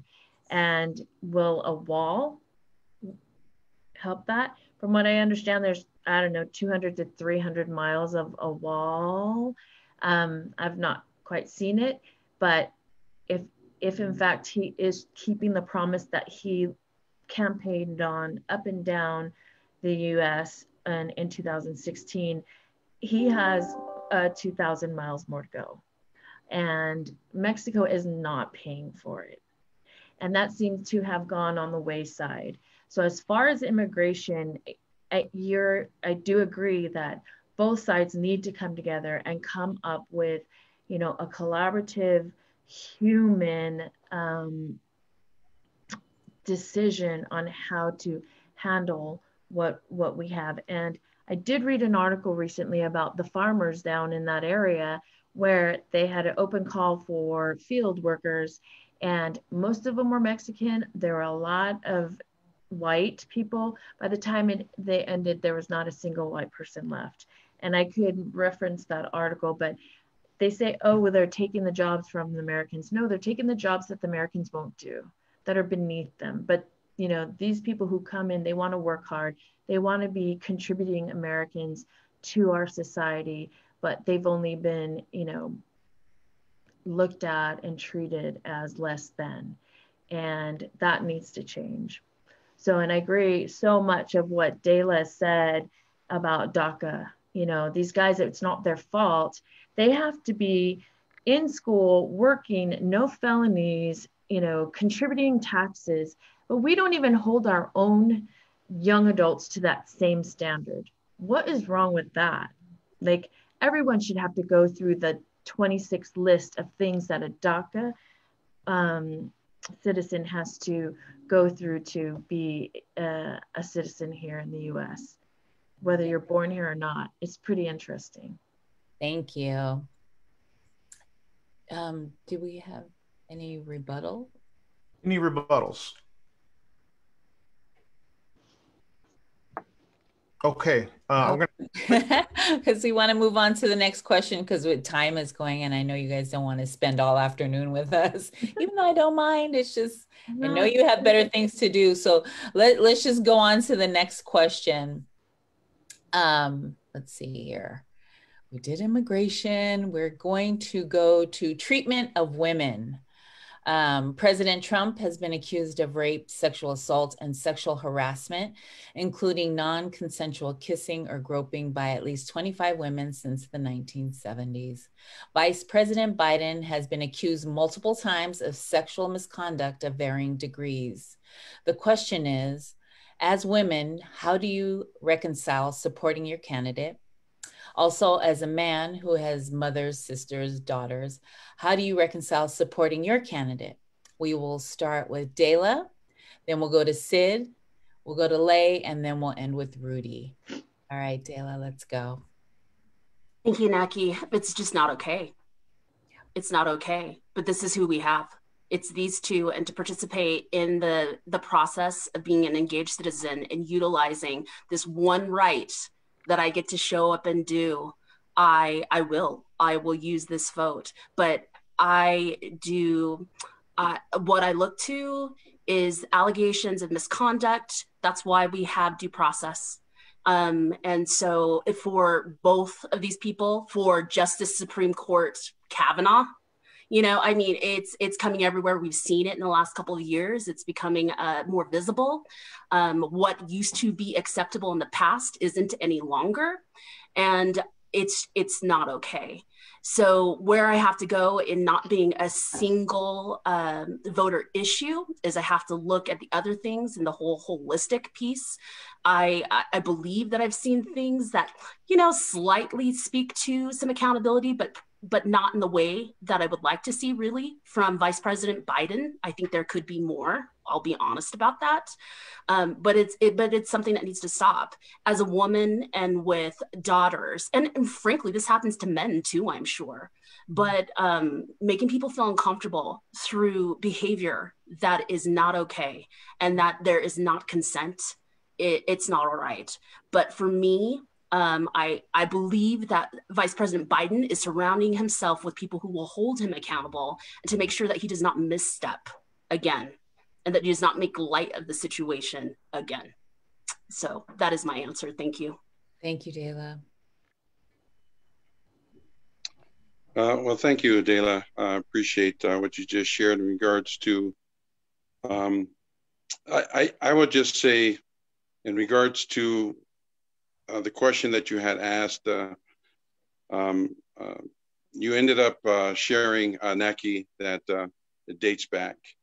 Um, I think you said 1970 up to, um, I forgot the other date, but um, if we as business owners hire people based on their past, um, we obviously will have, you know, some say, some things that uh, we can agree with that they got passed, and some things that we don't.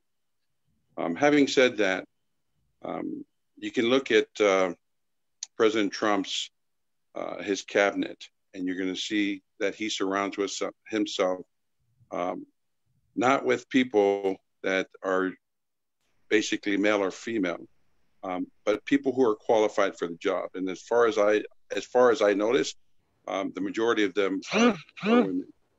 So having said that, um, qualifications is basically uh, is what allows us as individuals uh, to be able to um, to stand on. Um, so you, if you want to look at who we are today, um, we'll look at all our mistakes, um, you know, from the past, uh, who made us who we are today on this uh, platform, where we can actually speak to one another and to those who are listening. Um, because what we do is that we don't have a one perspective of just saying, well, this, this, this, this, this is the issue.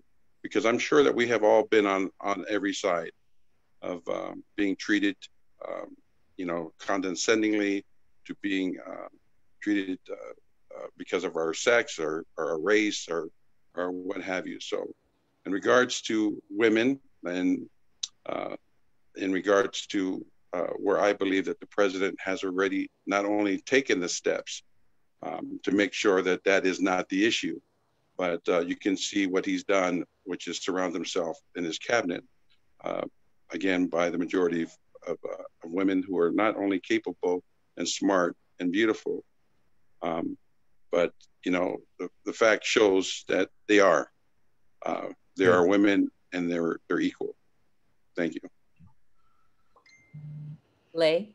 Okay, you're gonna have to repeat the question because I trailed off with. Okay, no problem. Um, I was like, as a woman, how do you reconcile supporting your candidate? Okay, so there is no reconciliation when it comes to women's rights or um, the Me Too movement, the things that are coming out now. And I agree with both Sid and Daela that times have changed and women are now speaking up and they're now clearly articulating and they have the voice now and they have you know the power and the security to be able to say you know this happened to me and to be able to be taken seriously so you know there's you know maya angelou we all know her favorite uh, quote is when someone shows you who they are believe them. Mm. so if we want to go back 47 years of biden's record and 47 years of trump's whatever business i don't know. Um, we can we can do that year for year and to have that many people come out and say that he has uh, you know there's some um, claims against him. And then to have biden come out and someone say you know what? He made me feel uncomfortable. He's touchy feely he's huggy you know kissy. And you know not to negate that but he clearly stepped forward not once not twice but three times even more that i've seen and apologized and recognized that he understands people need their space and he needs to respect it more. And he clearly articulated his understanding of that and apologized for that. I have yet to hear that from trump at all. Thank you, Lay. All right, the alarm just went off. Does anybody have a rebuttal or? I think I still need to go. Oh, Rudy. Yes, I'm sorry. That's okay. That's okay. You know, on the, on this particular issue, I'd have to go along with Daela. Uh, she brings up a good point. You know, we've got to trust the due due process, right? Um, you know, a long time ago, many decades ago, when I lived in Chicago, a good friend of mine was uh, former Chairman Dan Rostenkowski. He was a big Democrat congressman uh, who was chairman of Ways and Means during the Clinton administration, and he ended up getting in some trouble and served some time, but then he got out. And you know, I had a standing lunch with him, and one of the questions I asked him as a former member of Congress is I asked him, you know, would he run again? And he said, without even thinking about it, no way. And I said, why? And he said, there was a, there's a big difference. And he said the difference was when there were partisan differences, they still focus on compromise and coming up with solutions. Politics of today is focused on trying to put the other person in prison. And when the politics of today is like that, where you're focused on putting other people in prison and demonizing the other side, it's really hard to sit down and and meet and talk about ideas. And so times have definitely changed. Um, unfortunately, um, you, can name every elected official or anyone running for office. There's always someone or something coming up near election time that's throwing some type of allegations. Some of it could be true, some of it could be made up. I mean, who knows unless we go through the process? And that's a difficulty. And so it could be anything from corruption to harming women or what have you. All of it is terrible and bad. But I think the challenge is we've got a media that really doesn't do their research. And so as voters, people are in a tough spot. You know, of course, we're going to feel bad about everything that's negative. And of course, it's hard to support candidates that have allegations hurled at them. But that being said, we still have a country to run. And so, whether allegations are true or false, uh, whether things happened 40 years ago or what have you, I believe that there should be a process in place to, to figure that out. But in the meantime, with the election around the corner, we have to remember, and it's not an easy decision, right? Um, I don't think anyone's proud of anyone that does anything bad. And if people do things bad that are in our family, we're not proud of that. But you know, we still have Thanksgiving dinner and Christmas, and we still have a country to run, right? So back to your question, how do I feel about it? If the allegations are true, regardless of the candidate of them doing anything wrong against women, I'm totally against it. And there should be punishment in accordance to that. But while they're all allegations, and since we're in the middle of an election cycle, I just have to go along with who I support, and that's our president. And again, I do that based on his track record. Um, you know, he has more women running uh, or currently appointed to various positions in federal government. Uh, when it comes to unemployment and small business and what he's done for women, he's done great things. So, um, that being said, again, there's a lot of allegations out there, but we're in the middle of election process. I lean everything, Uh, I push everything for a process in terms of addressing those issues. But from the political standpoint and from an election standpoint, you know, we're picking who's who looks best on paper to move the country forward. Thank you. Thank you. All right, we're gonna take a quick break here. I'm and sorry, can I just re- two seconds? Yeah. Go ahead. We the question was, what do we think about our candidate and the way women are treated? Neither one of them addressed their candidate.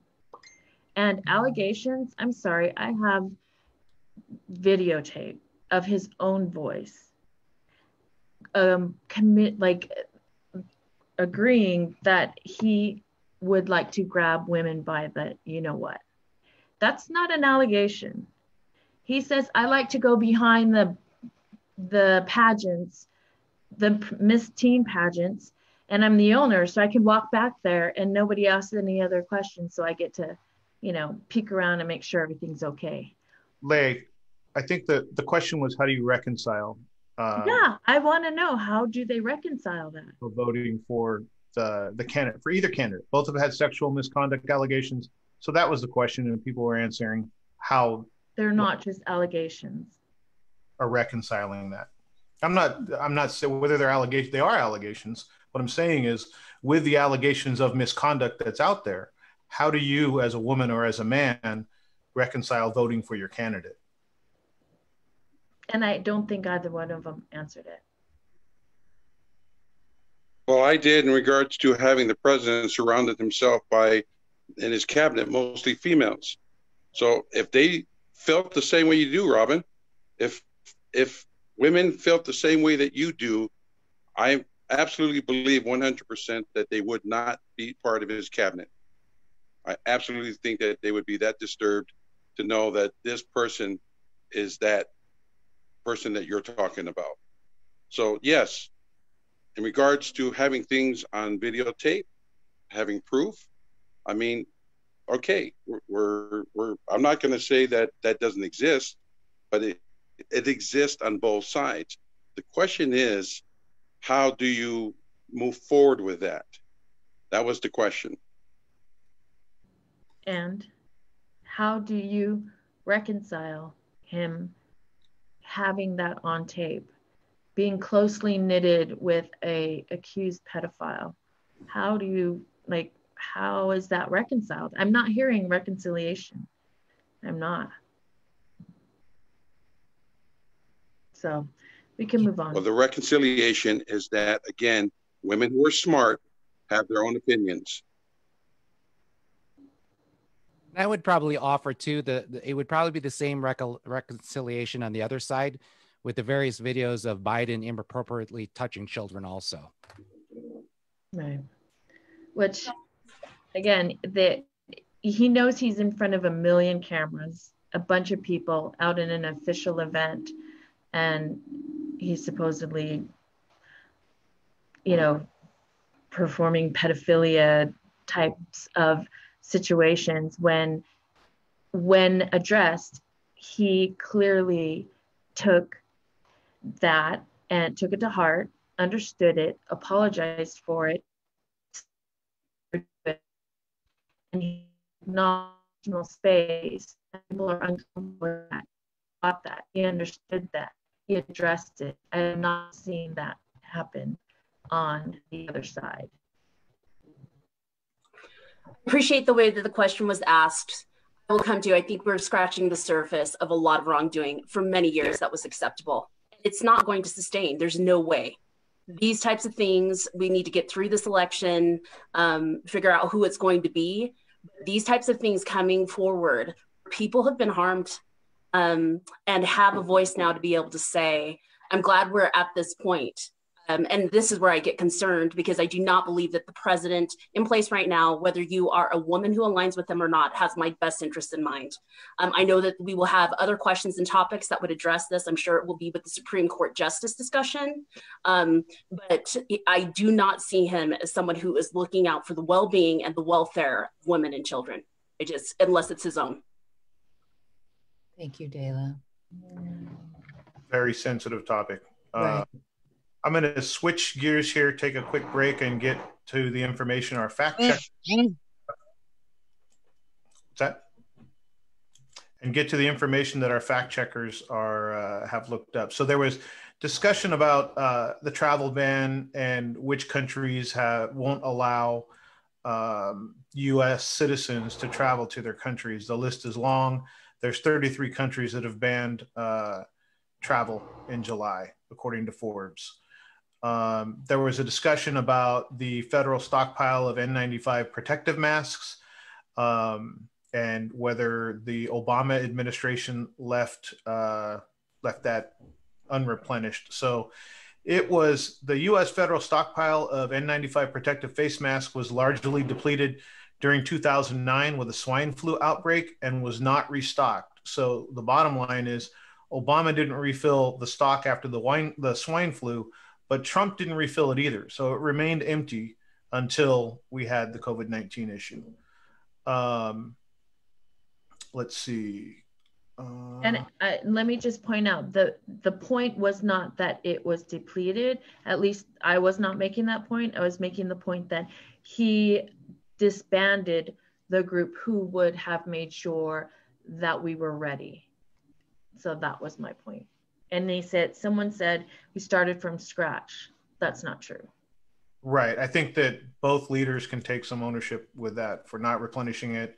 Um, and then when he inherited it, he didn't replenish it. So I think the American uh, public is the one that paid the price for uh, that oversight. Um, in terms of Amazon in 2018 and 2017, um, Amazon paid zero taxes on a respective 11.2 billion and 5.6 billion in profits by leveraging unspecified tax credits and stock-based compensation deductions. From Fox Business News, Amazon pays all the taxes we are required to pay in the US and every country where we operate, including paying 2.6 billion in corporate tax and reporting 3.4 billion in tax expense over the last three years. Uh, from Distractify, in 2018, Amazon posted an income of more than 11 billion, but the company paid zero in federal taxes. Um, that year, Amazon received a $137 million refund from the federal government for 2017. That's because Amazon actually owed money to the federal government. Hold on, let me back up. Um, President Donald Trump is a frequent critic of Amazon for paying little or no taxes to state and local governments, though the Trump administration 2017 tax cut and job cuts helped to lower the statutory corporate tax rate. So um, that's the report on Amazon. Um, was there a discussion in, about immigration about cages being built? If there was, I did not. No, no but uh, cages were built by Obama as a staging um, situation, not for a housing and leave and forget uh, and let get sick and die. So that's my input on that. And then there was the uh, discussion about the Biden platform. Biden, while both Biden's platform and the list of policy recommendations drafted by the Unity Task Force demand far reaching immigration reforms, including ending workplace raids, they do not go so far as to say that immigration enforcement would be abolished. And that's from Newsweek. So thank you, Nicole and Kevin, for putting that time in. Um, we are going to go to our, our final question. Um, and then we're gonna we're gonna move on because we've been here for yeah. Thank you so much. For- we want to be respectful of your time. There, we have a bunch of questions, and we may possibly do this again. Right.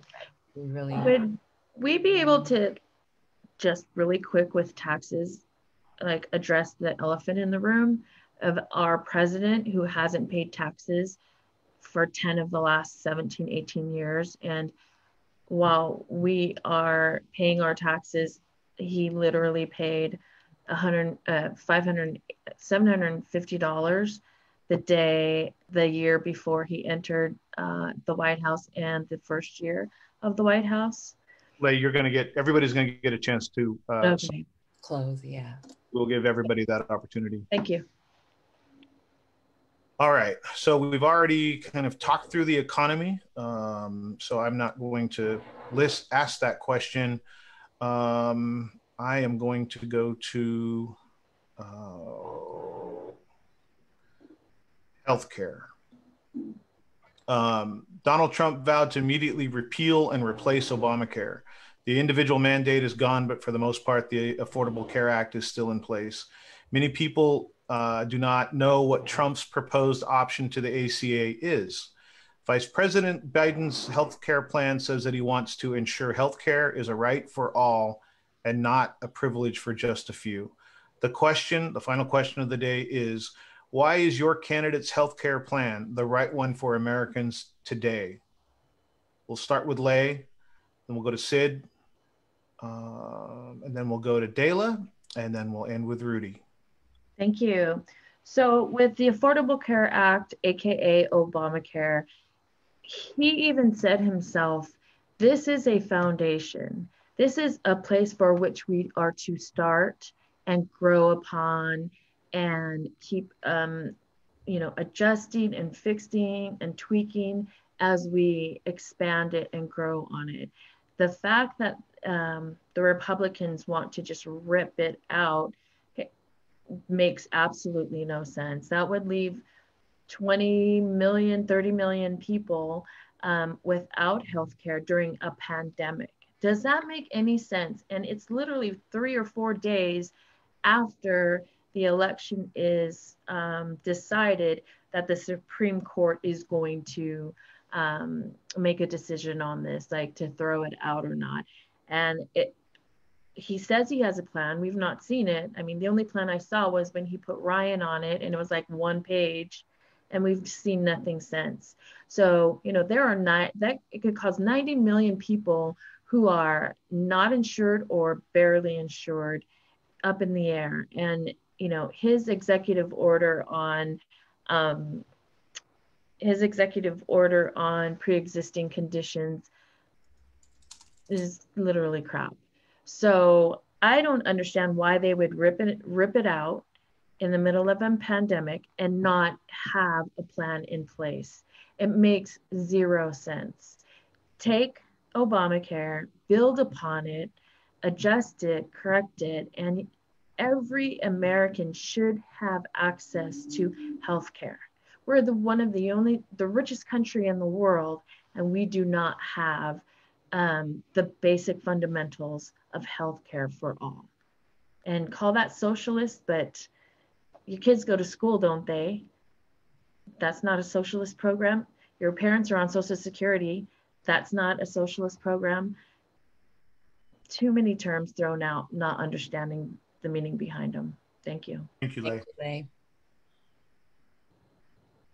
Um, Uh, thank you, Lee. In regards to uh, the healthcare, um, there was a lot of things that was just shared in regards to uh, the Obamacare.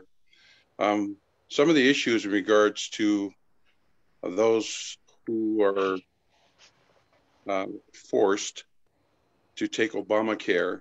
Um, the one thing that uh, uh, I, I, recall very clearly that uh, President Obama was saying was that uh, you can uh, change um, this Obamacare and you can keep your doctor. And so that issue was absolutely not true. Many people was not able to uh, keep their doctors because their doctors uh, basically had to close shop because the Obamacare affordability was basically taxing them to where they were going out of business.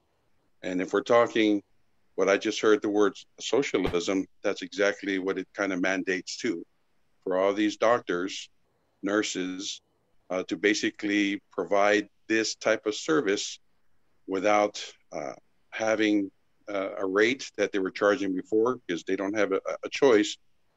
Um, so they basically were being, and, and I agree, a lot of it was overpriced and it still is uh, in regards to uh, some of these doctors and medical facilities uh, when you actually get care. Um, I do know that there have people that have fell through the cracks, such as a single working mother uh, who was working uh, part-time and going to school. And uh, many like her in that position fell through the cracks because they didn't make enough, they didn't work enough hours to be able to get uh, the health care uh, and being protected by Obamacare. So, as a whole, I do believe that President Trump is actually taking this and uh, rectifying it and uh, using what works and and not and disregarding that stuff that doesn't. Thank, Thank you. you. Thank you. Thank you, Sid. Daela? Thank you. So I'm a little confused about physicians and facilities closing as a result of the Affordable Care Act. I, I don't really follow what that is, but since this is my industry and this is what I do, I am heartened by the fact that Affordable Care Act came into place to support those who needed access to healthcare with premium tax credits and things of that nature. Now, I do get the frustration that was held by citizens that it was mandated that you had to carry. So I think that's one part that I'm not so concerned that Trump removed. What I do not care for is that he is in a space where he would allow for states to roll back the 10 essential categories for health benefit coverage doctor visits, inpatient and outpatient services, pharmacy drug coverage, pregnancy and childbirth, mental health services, and dental benefits for children. That is not exciting to me that that could be rolled back because it wouldn't be supportive to go ahead um, and, and maintain those as essential services that everybody should have access to. We as Pacific Islanders are starting to come to terms with the fact that yes, we can benefit from behavioral health services, from mental health care. I don't want anybody to be in a situation with the rise of national suicide rates to not have access to take care of what they need to. Catastrophic coverage was also put in place for behavioral health conditions, prosthetic devices, diabetes, mastectomies, dietary nutritional products for inborn metabolic errors, and autism spectrum, spectrum disorder. And in Utah, we have many Pacific Islander children with ASD or on that spectrum. Without AS, ACA, it would not be affordable. It would not be accessible. With Biden, I appreciate that Lay said that they would expand those protections to make sure that it could go ahead and still be a place and as affordable as it can be. Whenever we talk about Affordable Care Act, you know, we know that that just depends on the person and the income that you can bring. But uh, his proposal is capping health insurance premiums at 8.5% of a family's income, with families making less than 400%. So, Affordable Care Act, access to affordable care and quality care is extremely important for all of our citizens. Uh, I think that's my time. Thank you. Thank you, Daela.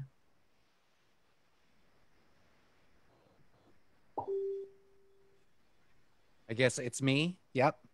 Um, so I, I, will just say Daela will probably being in the healthcare industry, she'd school all of us all day long. So Daela, thank you. Um, so I, I am going to speak on this as a private citizen. I mean, it's it's you know something to point out is Obamacare was years in the making. When First Lady Hillary Clinton first touched upon this in the 90s, it had been an ongoing process, and you know it's it's to come up with a plan that big in, some, in an industry that's that's complex uh, takes a lot of time. So there was a lot of hard work and efforts on the Democrat side to put this together to finally make it uh, make it law um, during the last administration. But you know, part of the promise when that was implemented was that people would keep their doctors and and premiums wouldn't increase. Well, we know that once that was passed for many Americans, they weren't able to keep their doctors, and many many premiums were actually increased. Um, but the couple things I'm excited about with the current president was, you know, he pushed an executive order for right to try, where it allowed individuals that were suffering, they were going through great suffering, had the opportunity to try experimental treatments. What I also like about this administration was he has a focus on lowering prescription drugs. Um, you know, making uh, generic drugs more accessible to folks and allowing states to purchase their prescription drugs uh, outside of our country. And I think that through these various executive orders, it's very helpful and it shows a commitment to lowering costs for families and individuals in addressing their healthcare issues. Now, the question is, you know, what are we doing about uh, an alternative plan? You know, again, it's the Affordable Care Act required you know decades to pull that together. It's going to require not just the white house and the president but it's going to also require the senate and the members of congress to come together to put something together. So i think moving forward i like to see what has has has occurred with respect to executive orders because it shows through action the intent of what the president wants to do in terms of lowering uh, healthcare costs to to those throughout the united states and uh, and increasing accessibility. So thank you Thank you, Rudy.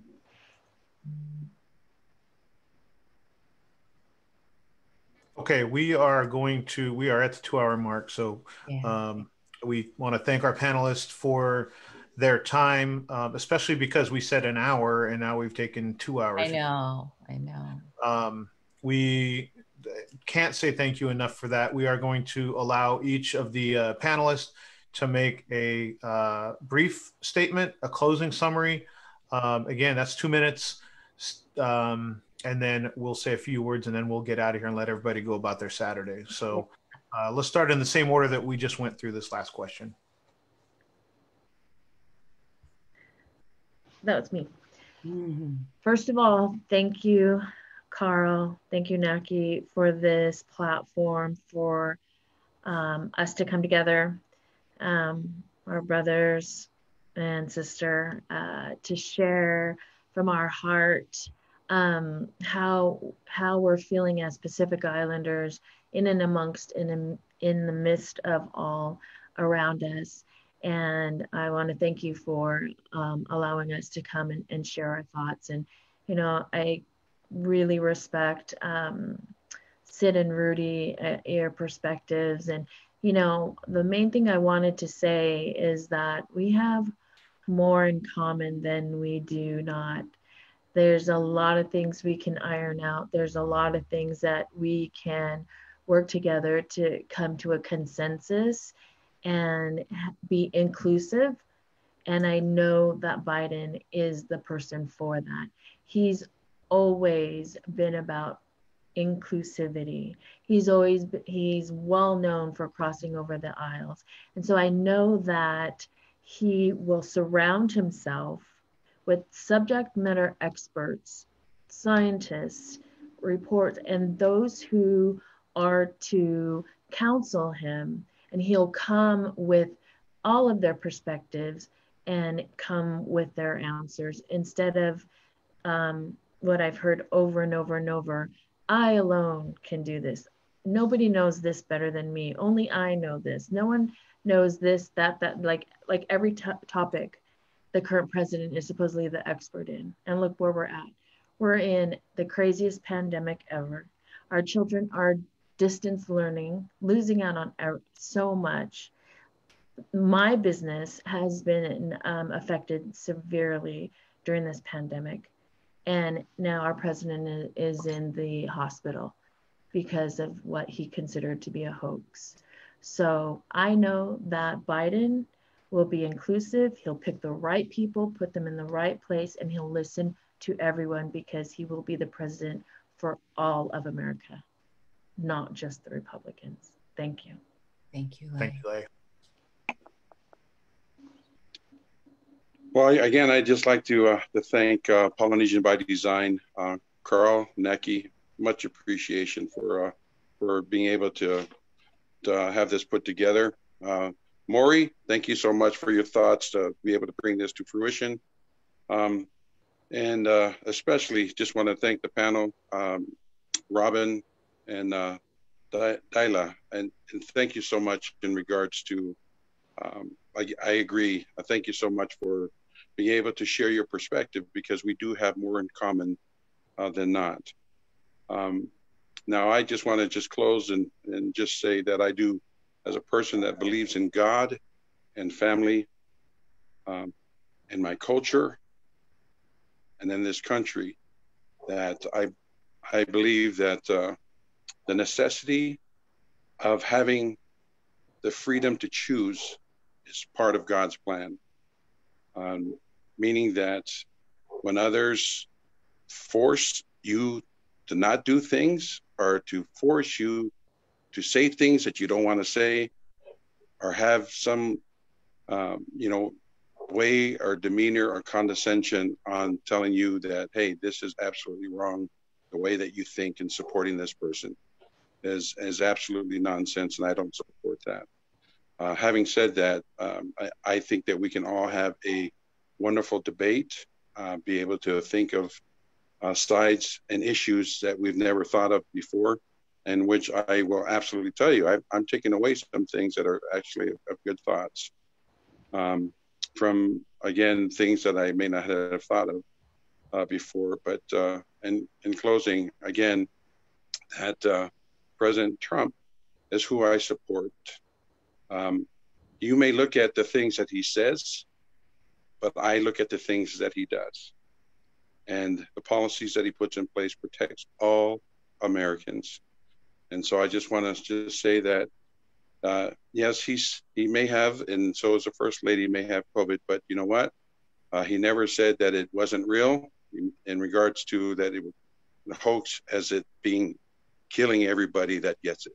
So having said that, I stand with the president of uh, United States uh, Trump and Pence. Thank you. Thank you. Thank you, Sid. As I close out my comments, I want to thank Vice President um, Biden and his team for actually taking down any sort of attack ads while President Biden is going, or excuse me, President. See, I'm already there. He's our next president. Um, Hello 46. That's it. so, um, so let me let me come let me walk that back. So I do appreciate that took down the ads, could go ahead and put politics a bit to the side to make sure that he could look out for the health and wellness of a human, of a person. And that is not what I feel. That's not what I see. That is not what I experience um, from 45. Uh, so, with that, I'm putting my vote behind dignified leadership. I'm putting my vote behind experts. I'm putting my vote behind science. We are from islands that are going through climate change and climate justice. If we can't figure out a way to look out for ourselves and our people who are not here in America, what does that say about us? I think about God in action and a God in action or whatever that higher power is looking out for everybody. And what I see is so much segmentation. And so I am looking out to make sure that my vote is not supporting campaign financing with special interests. I want to make sure that my vote is protecting voting rights and ends gerrymandering and fair maps. I am putting my vote behind people who respect checks and balances and can work across the aisle. Uh, Biden has proven that, as has Senator Harris. I would like to see us come back to a moral compass that works for the greater, greater whole versus those who are lining their pockets. I would like to see that the economy can be can be boosted and fair for everybody. And I am looking out for just those equal opportunities, equal rights, equal justice for our brown, black, all colors of the spectrum that make up this beautiful nation of immigrants. And lastly, I just want the economy to show that it can reward the people who are doing the work to make this country so wonderful and that we can protect our military, protect those that we serve, and protect everybody who makes up this great nation. Thank you. Thank you, Daela. Thank you, Daela. Thanks. Uh, I just want to take the opportunity again, like everyone else, Thank you to Nackie and Carl and everyone behind the scenes with Poly by Design. Uh, this definitely was not an easy effort, I'm sure, to put together uh, during these times, right? And, uh, you know, kudos to all of you for creating a platform where all the folks in our community can get together and listen to good dialogue between sane panelists as opposed to extremists and pundits that we're all getting tired of seeing on all the different news channels and on social media. So thank you to all of you and all of my fellow panelists. Um, you know, from from my perspective, I believe the contrast is pretty clear between the two nominees. Um, you know, President President Trump has proven that moving forward post pandemic, we're going to need a president that's really going to prioritize and focus on getting the economy going, focus on bringing back law and order, and supporting educational choice for parents and families. And while Biden throughout this campaign has talked about bringing about change, um, you know, that's something that he's been talking about for 47 years as a DC insider. Uh, while he's talking about change for the past 47 years, our president, President Trump, is delivered in 47 months. So, as folks do their research and they look at all the issues, I ask that everyone look beyond the noise, beyond the extremist rhetoric on both sides, and look at the real issues. Ultimately, families want to make sure we've got a strong economy. We want to make sure that from a law and order standpoint, we're safe. And of course, we want our families to have access to the best education out there. So I hope you're looking at all those issues and you'll see that the, the, there is a contrast. And regardless of what your decision is after election day, I hope that all animosity and all the demonization is thrown out the window because there's a lot of work that we have to do together. And so I look forward to, regardless of who our next president is, uh, I'm looking forward to getting back to the days where we can go back to each other's backyards and have barbecues and laugh and joke around uh, because, you know, the Islanders are an underserved community.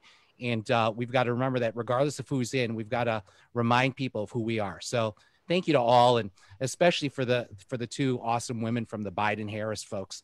Um, I will tell you that it's very rare that we get an opportunity as activists to to be on the same platform where we could actually share ideas. And I think it's important to hear contrasting ideas because sometimes we get tunnel vision in our own ideas and sometimes it's important to be reminded on the other side because we can't come up with solutions and work together unless we're also listening so thank you to all and look look look forward to next time Thank you. Awesome, Rudy. Thank you. Thank you so much, everybody. Thank you, Sid. Crazy. Thank, Thank you, Poly by Design. Thank, Thank you, everybody. Thanks, panelists. You, guys. Thanks, production team. Yes. Yes, production team. Carl? This is awesome. Um, all right. So we have probably, I don't know, three or four, maybe five more topics that we didn't get get a chance to get to. So we may end up doing this again. Um, and that's if the if the panelists um, would want to finish off the other topics. So um, I definitely want to thank um, the panelists for their time. Um, I want to thank Maury and Talavo Almavai, uh, Kevin Donovan, and Nicole Johnson for all the support behind the scenes. Uh, Nackie for participating because I had to drag her kicking and screaming into being the moderator. and I will say this: look, we we got to live with each other, and this was a point made by every one of the panelists here today. We got to live with each other. We're a community. Um, I'll go back to a contested election in 2000. I mean, that went to the Supreme Court and they were counting hanging chads and, and recounting ballot boxes and doing all kinds of crazy things. What's Al Gore doing for us today? What's George Bush doing for us today? Not much. They're not even in our lives, but we're in our lives still from 2000. So to see people getting divided and disowning family and loved ones and friends over politics, I just look at it and I say, look at the people that we have here. We've got two passionate Trump supporters. We've got two passionate Biden supporters. We're having a civil conversation. There's respect, and you can tell at the end of all this, no matter who's in that White House, who's at Pennsylvania Avenue after the election, we're all still community. We're all still family. We're all still loved ones. So if you're out there, stop disowning your family over politics. Stop mm. breaking friendships and lifelong relationships over politics. And I put it this way I'm a man of God. I'm a husband. I'm a father. I'm a brother. I'm a cousin. Way down after that, I care about politics. So I'm not going to blow up any of the other relationships above politics because those are of a higher priority for me. Those are me. Those are that's my life. That's what makes me who I am. So take an advantage of take advantage of what you see here today. Look what happened on Tuesday and then look what a debate this is. This is what a debate should look like. It should be an even exchange of information and not acting the way that that we saw happen on Tuesday. I hope President Trump um, and First Lady Melania and all people with COVID 19 recover fully. We thank you for your time, ladies and gentlemen. Um, thank you for watching if you're if you're online, and I hope to do this again. Thank you all. We love you. Thank you. Thank you. Thank you.